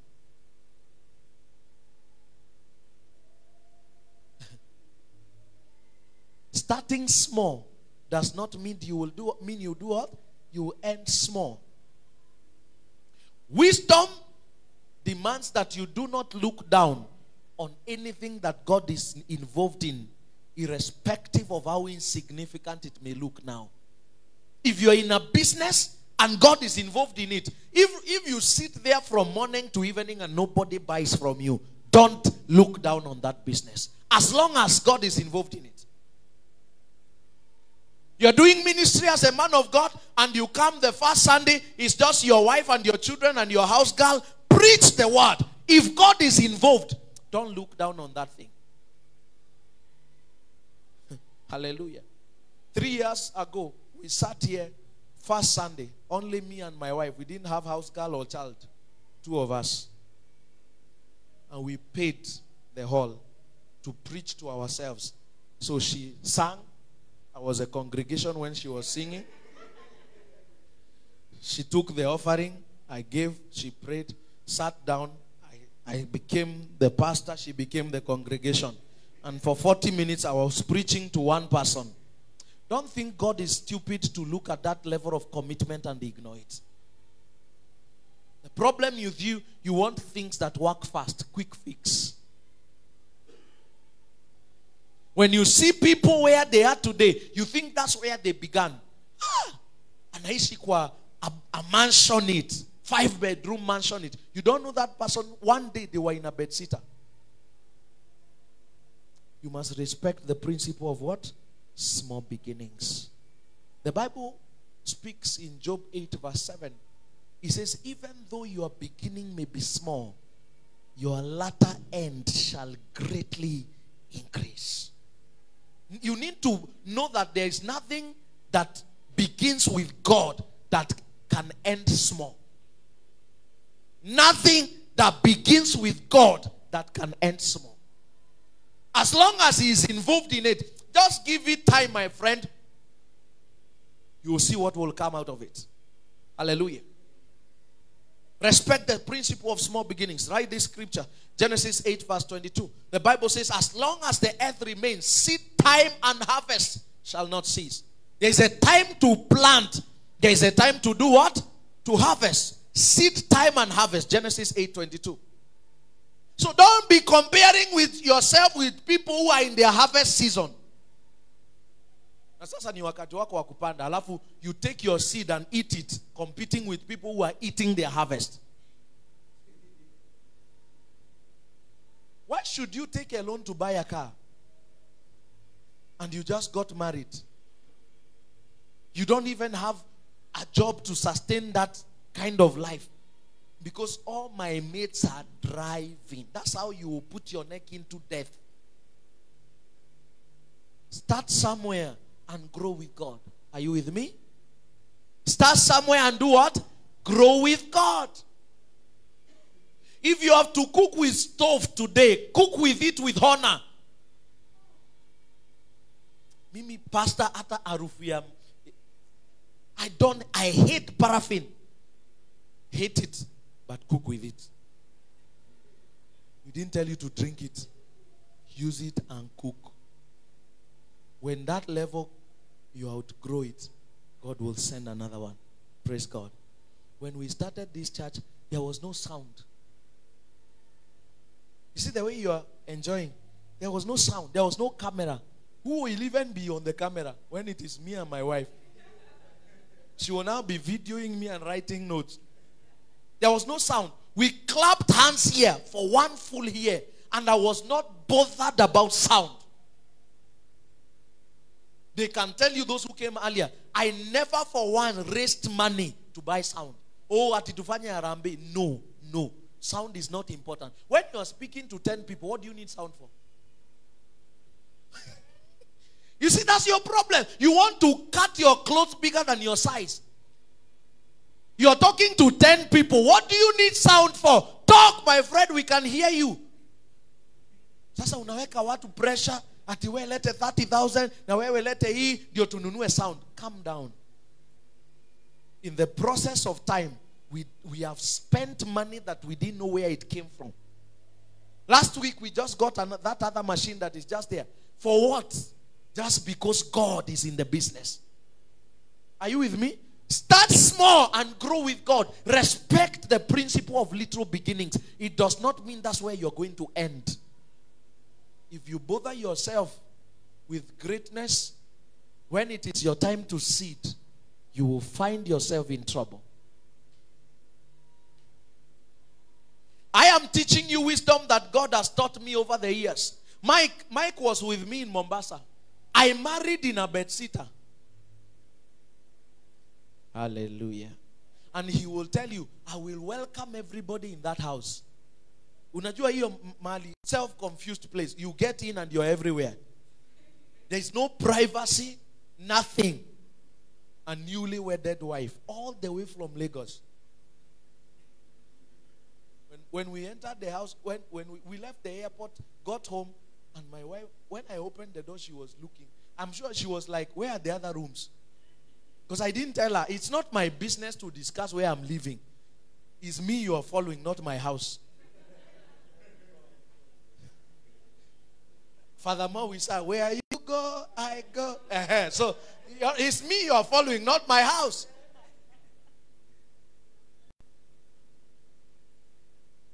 And from that place, we have grown step after the other, step after the other.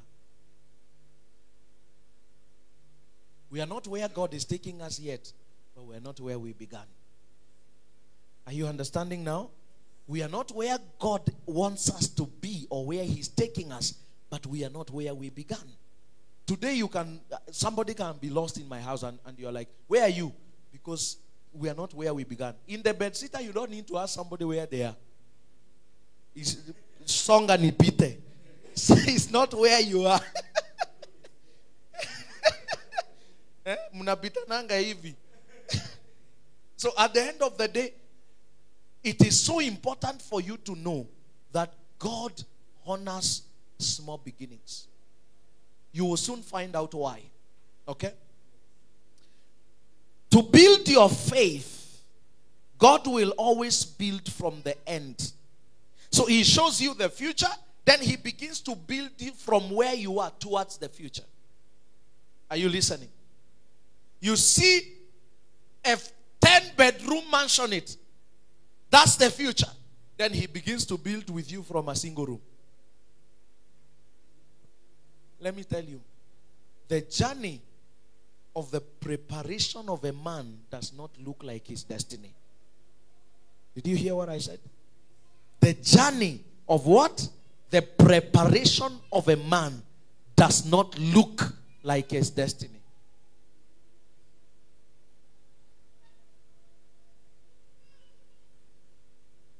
So don't look, you know, it will be foolishness for you to think that Deborah will be that tiny for the rest of her life.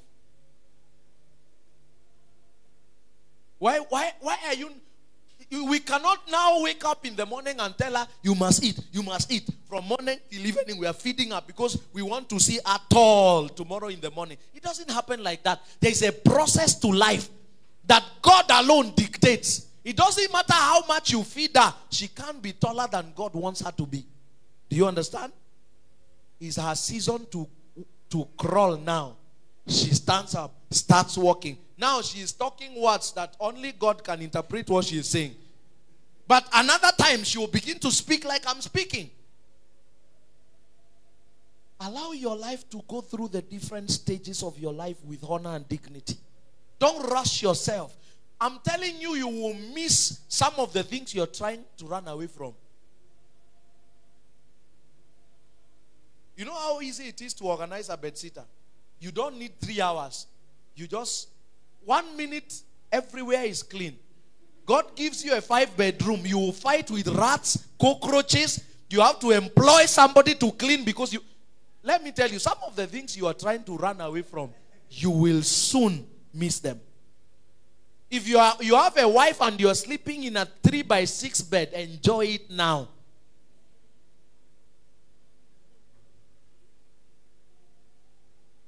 A day is going to come when your children will line them, themselves up in between the two of you.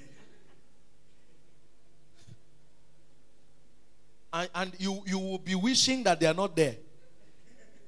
And they don't want to sleep anywhere else. So mwingine mkono iko kwa macho, mwingine mguu iko kwa masikio, and they don't care. You're their father, and this is your bedroom. They must be there. That some of the things you're trying to run away from now, you will miss them tomorrow. I promise you. You see the way I enjoy talking to you now because we are in a in a little space. I can at least I can see the person at the farthest end. Imagine now we are five thousand. There is no relationship with the pastor. How do you want to have relationship with 5,000 people? So the man of God just appears like God. And you release the word and you disappear.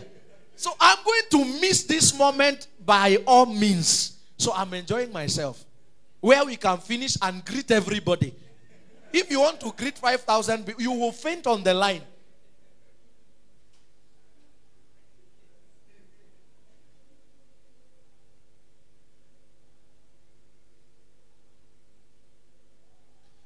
Start from where you are and trust God for growth. Amen. God builds like an architect. God does what? He builds like an architect. You know what architectures does? Architectural designs do? They, they, or, or, arch- what are they called? Architectures or architects. Do you know what architects do? They, they design a house, finish it on paper, then they begin to build on the ground. It will be foolish for you to look down on the foundation until you see the design on the paper. Wow. This is what this thing is going to become. And sometimes the foundation is even covered. Nobody sees it. They fence around it and cover it. It- Sometimes they bury a lot of things and cover it with sand. Then you see some stones begins to rise. The only hope the owner of the building has is what they show him on the paper. That what you see here is what we are trying to bring up here. That's how God works. He builds the, the, the, the present from the future. He shows you your tomorrow, then begins to build from here. Don't look down on where you are. Na usianze kujikompea na watu wamefika future yao. Imagine now me praying, Father, in the name of Jesus, you who is the God of Bishop David Oyedepo. Do you know how many years he has been in ministry? He was celebrating, was it 47, babe, or 48? 40 something years of ministry. I'm not even 40 myself. So before I was not born, he started ministry. I'm not 40 myself. And I want to God now to give me the kind of results here. It's madness. Tell somebody, calm down. Calm down. Calm down. There is a lot of time to accomplish life and destiny. Calm down.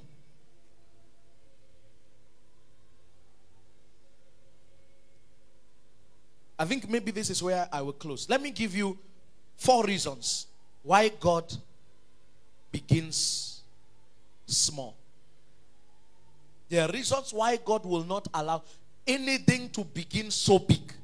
There are reasons. Let me give you four reasons why God begins small with people. Hallelujah. Number one, God begins small so that the enemy can be overconfident of himself. When Satan looks at you, he, he, will think nothing will, will come out of you. Part of the reasons why people were not able to, to confront Jesus' ministry. Did you hear what Philip asked? Can anything good come from Nazareth? That's a place of being despised. God wants Satan to despise you because of the stages of your life. He begins there so that the devil can be overconfident of himself. Imagine a preacher who is a stammerer. Will Satan even pay attention to him? Ah. Then, somewhere along the way, part the anointing comes on you. All this while, you've been studying the scriptures, baking yourself in the spirit, but Satan is not threatened because you're a stammerer. Or you don't know how to speak English.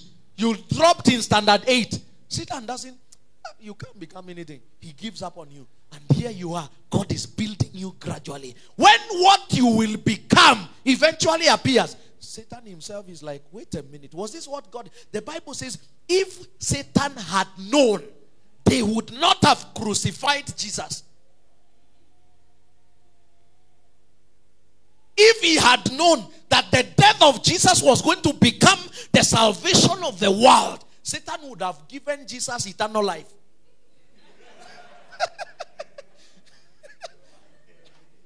I'm telling you, he would have kept him alive till eternity. Hallelujah.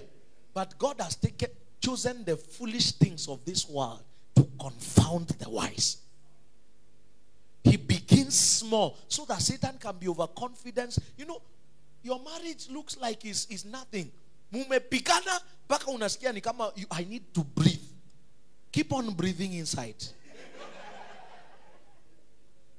One day, there's something God is doing with that marriage that Satan can't see.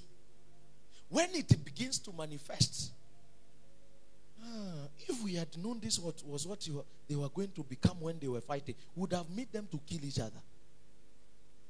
But God begins there so that Satan can be overconfident of himself.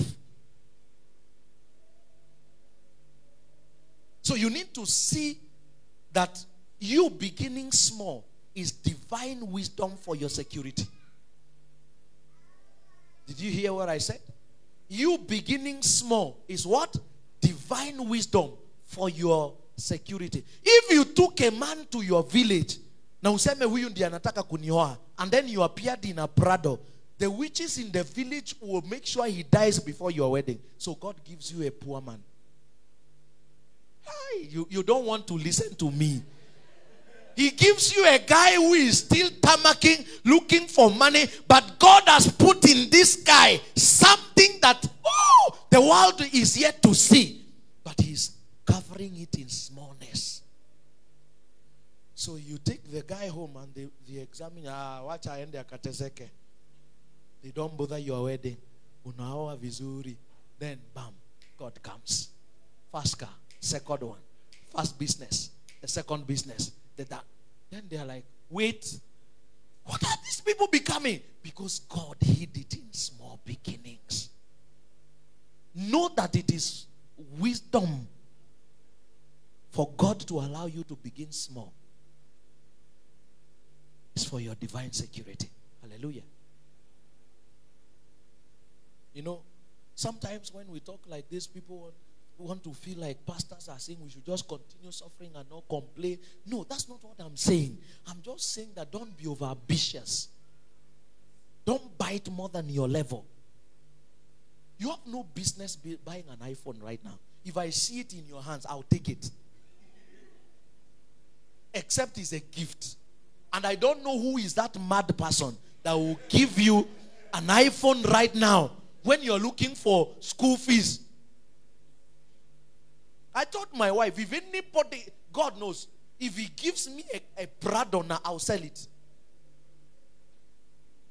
Imagine parking a Prado in a rented house. What madness! I'll sell it and buy land and build my house. But you see, for you, ah, unataka tu. You know, man, we are treading.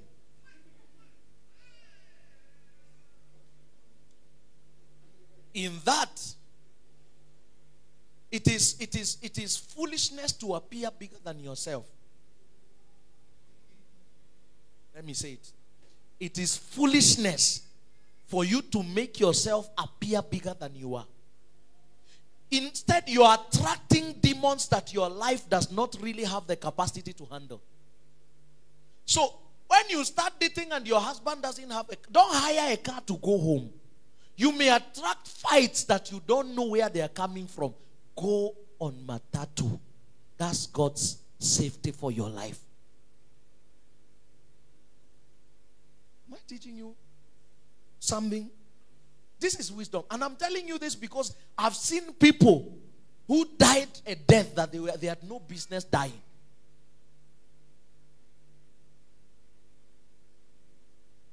When you appear bigger than yourself, you attract demons that are bigger than you, than you can handle. Go through your life with confidence, with honor, with dignity, with pride. Even if you have, my sister, even if you have five million right now, what business do you have renting a three bedroom house as a single lady? What are you going to be doing there? So viatu ziko kwa room moja, hiyo room ingine ni ya chiwawa. ati ati hiyo room ingine. I mean, save that money and help your destiny. So there are, there are blessings God is going to send to you now. You need the wisdom to, to know what to do with your days of favor. When, when Joseph came into the scene, he told the king, We are going to have a bumper harvest for seven years. It's not time for us to eat and just let our stomachs grow. No, it's time for us to save because after these seven bumper harvest years, dryness is coming for another seven years. So, what we harvest in our bumper season, we divide it into two. We eat half, we save half. You're a single lady, your father is sending you money 10,000 for rent. Go look for a house of 3,000. 7,000 every month. In one year, do you know how much money you will have saved? By the time you're stepping out of campus, you don't need anybody to borrow you capital to start a business.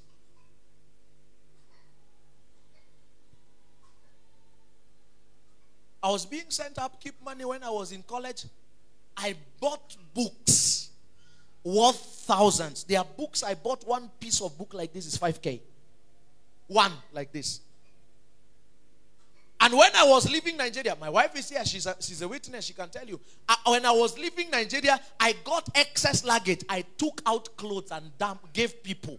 Take clothes, they have no value to me. I, I have tailors in Kenya who can give me more clothes. I carried books. Today, when I talk, you think, ah, Pastor, I'm in amebarikiwa. No, no, calm down. Just go back to history and know where we have come from with God. Carried three boxes of books. That was my investment for my college life. For you, you may need to start a business after college. What are you doing now with your with your time, with money?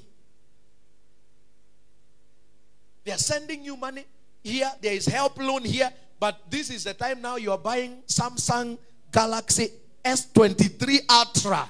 Where, my friend? Ukitembea kwa street hauguzwi. Then you come out of college and you trek for seven years looking for a job. You're not wise. Please lay your hand on your head and say, I receive wisdom. Say it with conviction I receive wisdom.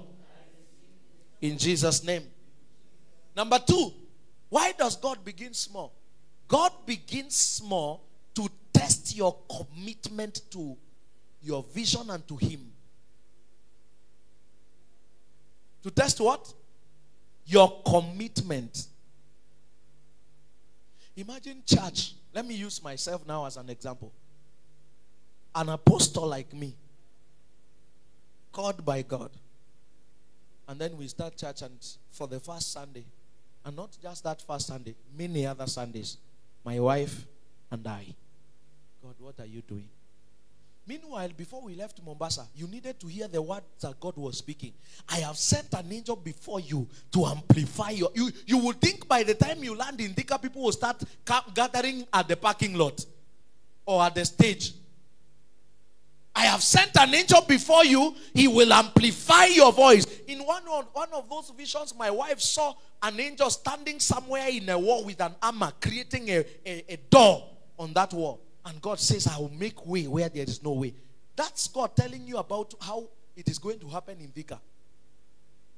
Then I enter visions and begin to see multitudes of people. One day I was in a vision, I was somewhere praying in a bush. And I saw a vision. We were in a crusade. She was the one ministering, and I saw thousands of people come on, see healings. And then we come in the on ground. Where? Vitu ni different, my friend.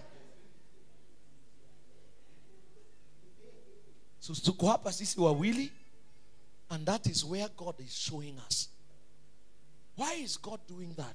He is doing that to test your commitment to Him. If you can't stick with what is small, you are not to be trusted with it when it is big. You want a man that is self made. Who made him?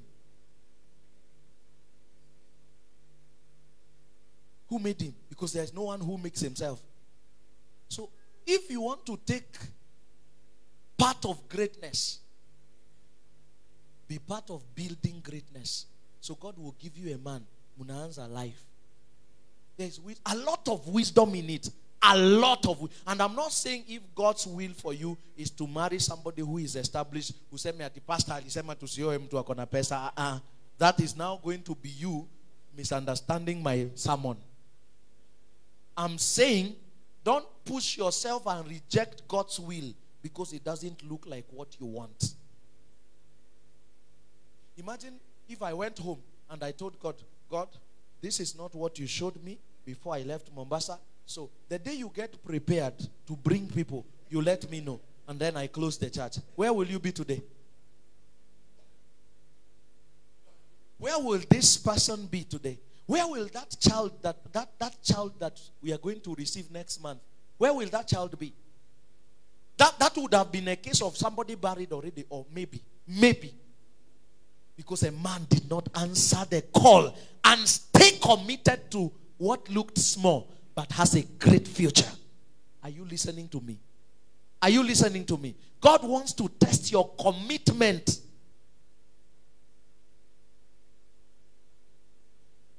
Will you stick to it even when everyone else thinks it's foolishness?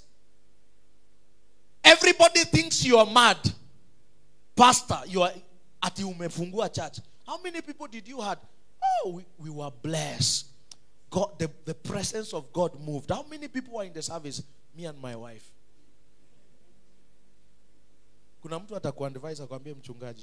I know there is faith, but this doesn't look like it's faith. If you listen to those kind of advice, you will miss out on God. Even when everybody else thinks you're failing, can you stay with it? I have a pastor friend of mine who came and told me how he wanted to divorce his wife. They had just gotten married. Me, I was even not married. I remember I was counseling him from uh, Pastor Bill's house just behind here. And he told me how he is tired, the wife is tired, so he thinks they actually need to separate. I said, okay, if she needs to go, let her go, but don't. This is this is not what God wants you to do. You're thieving. Have you imagine your tongue? How many times have you beaten yourself last week? The tongue and the teeth. The tongue now will now say, please, I don't want to stay in this mouth any longer. because meno sijui shinda yenu nini? Mnakaa tu mkitembea. Mimi niko mahali pamoja. Na meno inayo inasema hapana mimi ndio niko mahali pamoja. Wewe ndio unakaa ukimove. Umekuja kwetu unaumwa kwa sababu ume extend boundaries. I mean but these two organs stay together in peace because they have a purpose to achieve. There's no chewing without the tongue and the teeth together. If you have teeth and no tongue you can't chew if you have tongue and no teeth you will chew you can't swallow or swallow you can't chew. Allow yourself to grow with the process and god wants to test your commitment to what he is doing with you. Because you know everybody believes what is working right? What about if it's not working? Do you believe god? Do you believe god listen to this small with god does not mean failure it's a test of commitment small with God does not mean failure. It's a test of what? Commitment. If you can't stick to it when it is small, you are not to be trusted with it in its fullness. That means you are in it for what is in it for you. Are you with me now? Inamaanisha you're only believing God for what He can give you out of the vision, not because you are given to Him. But by the time umekuja church na wewe ni wewe pastor, mke wako ndiye member na wewe ndiye mtoaji wa sadaka, hall ni wewe unalipa, so unaenda nyumbani. You are asking yourself, are you doing ministry or ministry is doing you? The issue is you are in it as an obedience to God, not for what is going to come out of it. And that has been meant by my mentality since day one. And look what God has done. And it, it has not yet appeared what we shall be. Just keep watching. If God gives you the grace, stay with us. One day you will wake up and say, Wow, Pastor told us we didn't believe him. For those of you who are walking by sight,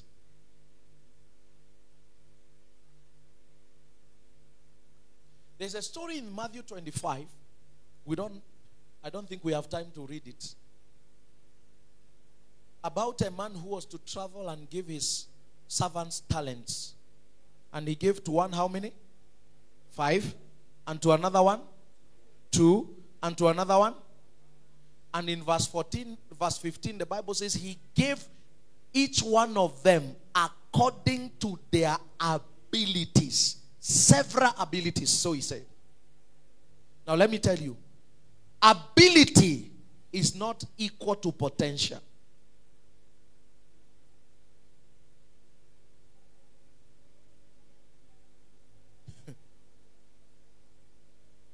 ability is not equal to potential. Listen to me.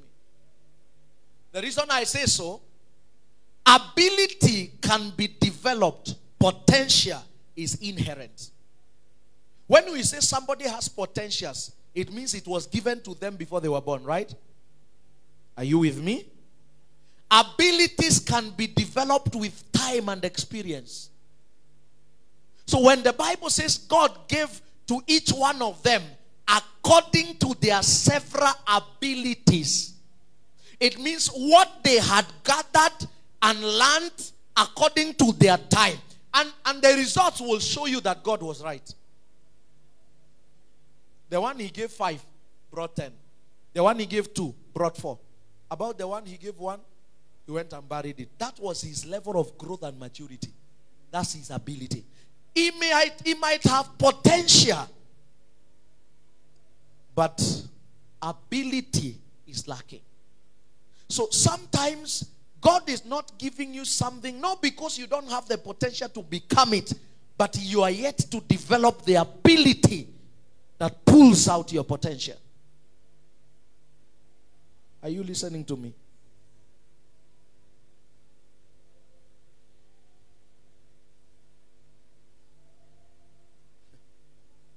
So you need to learn that many times it's not about what you're capable, capable of, it's what you're able of. Capacity and ability are two different things. Okay? So capacity is the same as potential.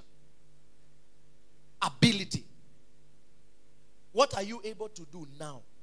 Some of us, God knows, if we have one million right now, right now, God knows Himself, Satan, and your father and your mother, they all be looking for you. So, for your safety, He keeps your provision at the level of where you can, your ability can. That does not mean that's all you can become in life. Your potential may be you will be a billionaire, but right now, your ability is that you can only manage a hundred thousand. You've heard me say it here. Give someone who has grown something small, they will work that thing to grow to their level. Give someone who has not grown something big, they will reduce it to their level.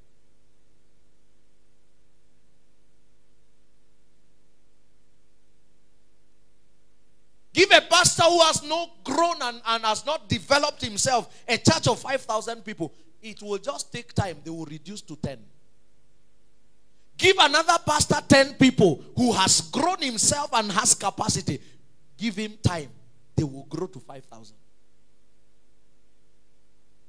You know, I asked somebody, I said, let's talk about our Kenyan people.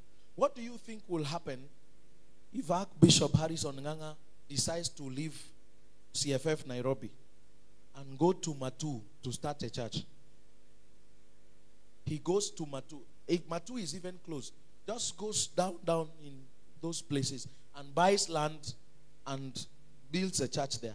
You know, the first Sunday will have more than 3,000 people attending the service. People will drive from Nairobi and go attend the service there. The problem is not the location, it's the man. If he gives you the one in Nairobi, it will be empty.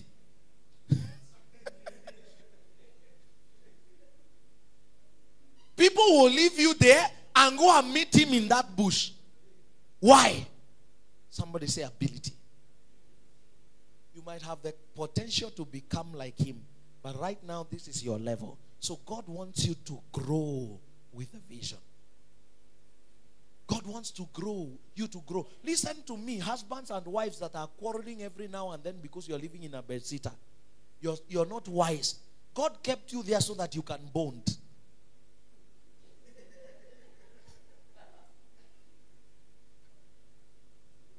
By the time your wife leaves the bathroom with, the, with a towel, there's nowhere to go. Akienda ki- kitchen hata wewe uko hapo. It's, just time to bond. Akikoroga ugali na wewe unakoroga uh, sukuma.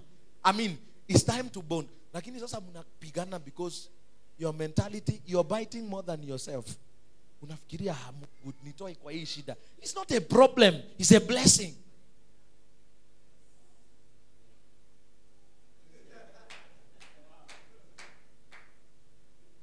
Kept you there to bond.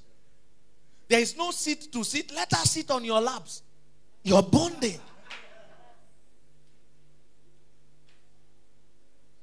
Now you think I'm not I'm not I'm not cracking comedy. I'm just telling you that some of the things that we look at as a problem is not actually a problem. First of all, you don't even have friends to host. You have no children. So what do you need a, a four bedroom house for? To keep what? Hata hauna pesa ya kununua vitu za kuweka huko. In that bed sitter, you don't have a TV, hauna kiti, you only have a bed. So that's the safest place for you. Enjoy it. Hata usianze kutafuta vitu ati za kugawanisha sijui. Ask my wife. There was no no no no what what do they call them? Unaona mtu ameweka sijui pegs ime, na, na uh, umehang eh, what are they called? Please talk to me now. Curtains. I told her no. Let's let's have our space. You just come in, arrange your bed, sit on it, just enjoy your life. One day, you will miss that life, my brother. I'm telling you now, you don't believe me, but I know you will miss it. By the time you give birth to three boys, and they are all terrorizing you in the house, You don't know where the TV remote is. So you will need a big you will need a big house to hide some things. You, yesterday Deborah alipita tu na mlango ya, ya, ya, dispenser. And she has no apology. The other day, I was looking for one of my shoes. I looked for it, looked for it. If you're in a bed sitter, will you look for it like that? Because she carried it where I don't know. That life that you're running away from, one day you will sit down somewhere and say, God, I wish I enjoyed my life. Hallelujah. I said hallelujah. Number three, why does God begin small?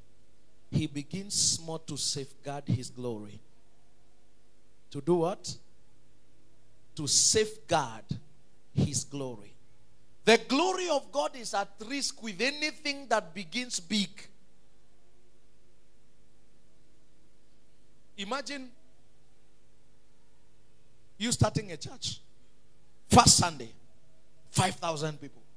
Where is, where is the glory of God in that? You, you will beat your chest and say, Ah, look at the anointed man of God. He begins small to safeguard your what? Your ability not to take his glory. By the time you umeanza bed sitter, and then you may umepanda umeingia one bedroom, alafu umepanda umeingia three bedroom. When you get into a mansion, it, it will not be, I worked hard. No, it will be look at what the Lord has done. You get my point? It will not be you saying, I, I you know, uh, no, it will be look at what the Lord has done. You will have a story to tell. Imagine what I'm telling you now, the way it is encouraging you. Some of you is not encouraging you because you don't know where I live.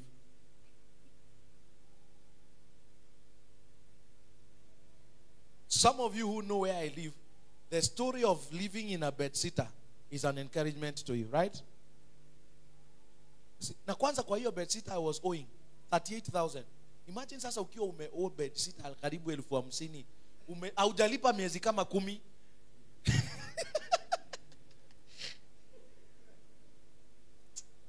God has had mercy on me. Yaani naonanga tu pesa nimetuma kwa rent sahi nashindwa gai we hiyo ni rent ya miezi- nne kwa bed sitter. Four months cleared in one month. But you see, there has been growth in it. Why? God wants to safeguard His glory so that you will not beat your chest and say, This is me doing it. No. He will humble you from that small beginning. You will know that it was God who lifted you. Did you hear what Nebuchadnezzar said? This Babylon have I built by myself. God said, Okay, Nebuchadnezzar, let's go to the bush. You need to learn some lessons. And he ate grass like an animal. For how many years? Seven years. For taking God's glory that he has built the city by himself. That could be your marriage. "Ah, I married the best wife in town. My God. Then God comes for you. So the beginning of your marriage is troublesome because God wants you to look back say, if God didn't help me, I was going to break the neck of this one. and you say, ah, this far we have come. It is the Lord that is Ebenezer. because we will have killed each other. Kama si, kama si Mungu, wewe. Kisirani tu yani. But hiyo kisirani yote Mungu tu anakuweka nayo mpaka inafika wakati wa testimony. Hallelujah. So small beginnings are God's wisdom to safeguard his glory uh, or to safeguard our hearts from taking his glory. So when you stay with the vision, you write your story with dignity and honor. Praise the Lord. Finally, and then we go home. We come back by 5 p.m. Na niliona hiyo flyer mumeandika 5:30. I don't know who did that. 5 p.m. We come back for the interdenominational service. Are you blessed, somebody? Number four, and the last one. God uses the small beginnings to grow us. And I think I've mentioned a few things on this. I'm just going to fly over it and then we'll be gone. You must identify potential and stay with it. Identify potential and stay with it. So God builds us through the experience of the process. God made the first mistake of producing a full grown man, Adam, and we all know what he did. So he decided from that day on that people, including Jesus, will grow from child to adulthood. Because in that, the Bible says, and Jesus grew in what? Wisdom and in what? In stature. So you need to grow capacity and stature. There, are, there is wisdom that you need for managing business because you started small. Hello. There is wisdom you need to manage what? Business because you started small. That's why you notice most of the companies that fathers left for their sons, all of them closed down. Except for the ones, you know, this is the wisdom the, the Asians have that we don't have. Most of them, their children, immediately they leave school, they don't take them to the house, they drop them at the shop. Have you seen them like that? Unaenda kwa, kwa shop kununua a nut, unasikia mzee amekaa kwa kiti, hey fulani, endea hiyo nut. They are training them business. We Christians, ah, junior akikuja, mpatie uji, ugali. By the time the guy is done, ah, hata usingizi yako nayo hata, hata jua ulifika nyumbani saa ngapi. And I think that's what the government of Kenya was trying to correct with this CBC thing, but they also got it wrong in some places. That's why I like the Nigerian system of education. Nigeria, students go to school from morning to one. There's no school in the afternoon. So, sanane unawaona. Buy pure water. Go pure water. Unashindwa, Kwani hawa watoto waendangi shule? They have been in school before. They are now helping their mothers in business. That's why these guys are aggressive the way they are aggressive. And they are making it in life anywhere they go. They didn't just receive education, they received life skills. So, what God wants to do with you in your journey of growing is to teach you life skills. So, He won't allow you to start a business so big. The problem and the mistake many of you make is to wait to gather money to start big. My wife started her business with one machine and it was borrowed. When we were leaving Mombasa, we had to return it. Now she has five. One. Na ilikuwa ni ya. Sasa wewe unangoja na unapatia Mungu budget. Now you think you are so spiritual because you have you have written it down. Father, you know, hii na hii na hii na hii we need 75k in the name of Jesus. No, no. No. Begin from where you are. If it is one watermelon you can buy of 150 in a bucket, yeah, 20 bob. Go buy it. Start from there. You will have a story to tell. And not just a story to tell. You have you will have gathered wisdom in the process of your growth. Are you listening to me, someone? You develop strength, you develop skills in the process of growth. In every phase and every stage, there are lessons to learn. Learn them. Don't, don't be in a hurry. When God is building with you, patience is a virtue. We'll talk about patience next week. Hallelujah. So each stage has lessons for you to learn. Develop skill, develop stature, develop strength for the, what you need for your greatness tomorrow. God uses the circumstances in the process of our growth to bring us to the level of maturity and the responsibility that our next level demands. So, if you're raising daughters here, don't be shy to condemn your daughters to washing utensils and to cooking. You are the woman you are today because of that suffering. You train girls who can't wash clothes, who can't cook. Hata mayai akipika inakaa ni kama ni chapati. And that's you're preparing a future wife for somebody's son. No. Send them to the kitchen. As early as the age of 10, let them learn how to prepare tea, cook breakfast, do things. You are not punishing them, you are training them for their future. They will thank God that you were their mother. Praise the Lord. Hii upendo mingi mtoto hakuna kazi anafanya, haezi guza. And I know there are people who will argue with it. All right, go ahead, argue with it. You are entitled to your own opinion. But at the end of the day, we've seen people. If you, if that person lands in the wrong hands, mtoto amekuwa ako na miaka kumi, standard 5, 6, 7, they can't wash their uniform. You're not a good mother. That's not love. You're destroying that child. Let them come back from school, wash their own clothes. Kama si safi, we- you come back in the evening and re-wash it. Help them. That's how you train children. God is using your own little beginnings to train you. Hallelujah. I said hallelujah. So I've said God uses the circumstances in the process of our growth to mature and to grow us into the levels of responsibility that our next level of destiny demands for. Stand up on your feet, let's pray.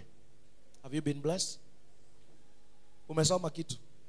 You see, this is why I keep on insisting don't come to church and not carry a notebook. Imagine your head is not a computer. You by the time it is next week on Sunday, you will have forgotten 85% of everything I've said. One of my greatest mentors told me, writing makes an exact man more exact. Praise God.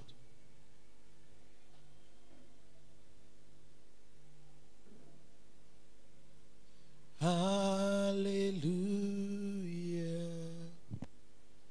Hallelujah.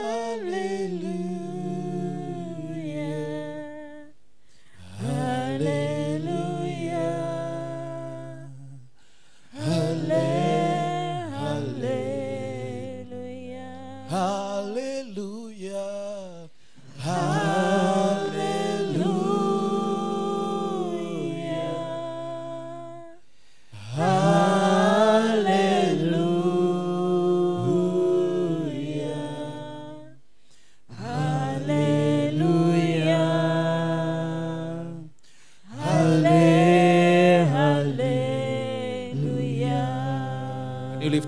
Hands and thank God for the words that you have received? Thank you. Thank you, Jesus. Thank you, Lord. Thank God for the wisdom that you have received this entry of your afternoon.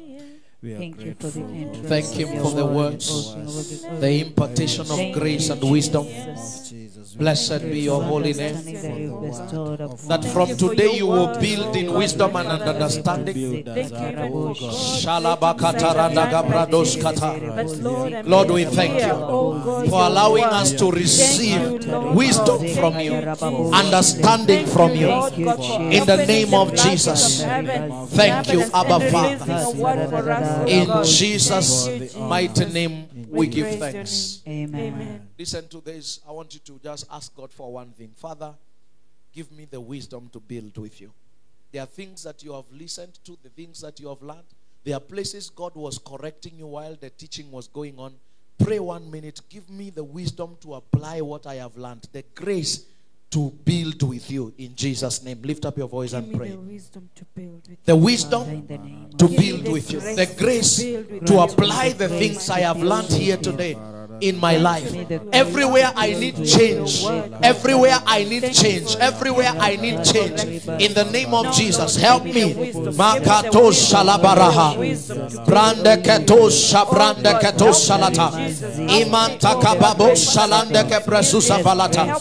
Shabranda kato shelebahatalia. Thank you, Lord. Thank you, Lord. Thank you, Lord. Thank you, Lord. Thank you, Lord. We are grateful for your wisdom. Help us, Lord, to apply the words we have received in our journey of growth in the name of Jesus. In Jesus' mighty name we pray. Father, we thank you and we bless you for the words that we have received this afternoon. We know in the communication of your word there is impartation of grace. And so we receive with thanksgiving the grace to work what we have received so that our lives can find expression and our destinies can manifest in the way that you have ordained for us. I pray for each and everyone listening to me right now. And I ask that, Lord, you will grant them the grace, grant us the wisdom to walk in practice of what we have received today so that we can become what you have desired for us to become. In Jesus' mighty name we pray. Amen. The reason why I don't want us to spend a lot of time in prayer is because I know in the afternoon we're going to pray. I'm going to be teaching on the power of praying in the Spirit. The wisdom of praying in the Spirit. It's going to be a moment of prayer, and I know the presence of God is going to be mighty in this place. If you need a miracle, please don't miss the afternoon service.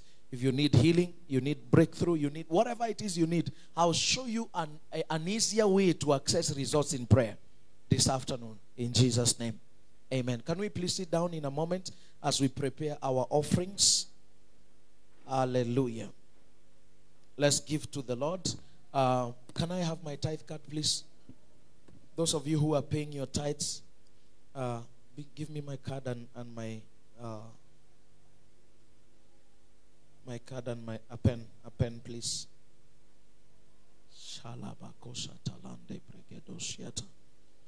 Please get an offering. For those of you who are watching online, I don't know, we are still live. Those who are watching online, thank you so much for tuning in and being part of this service.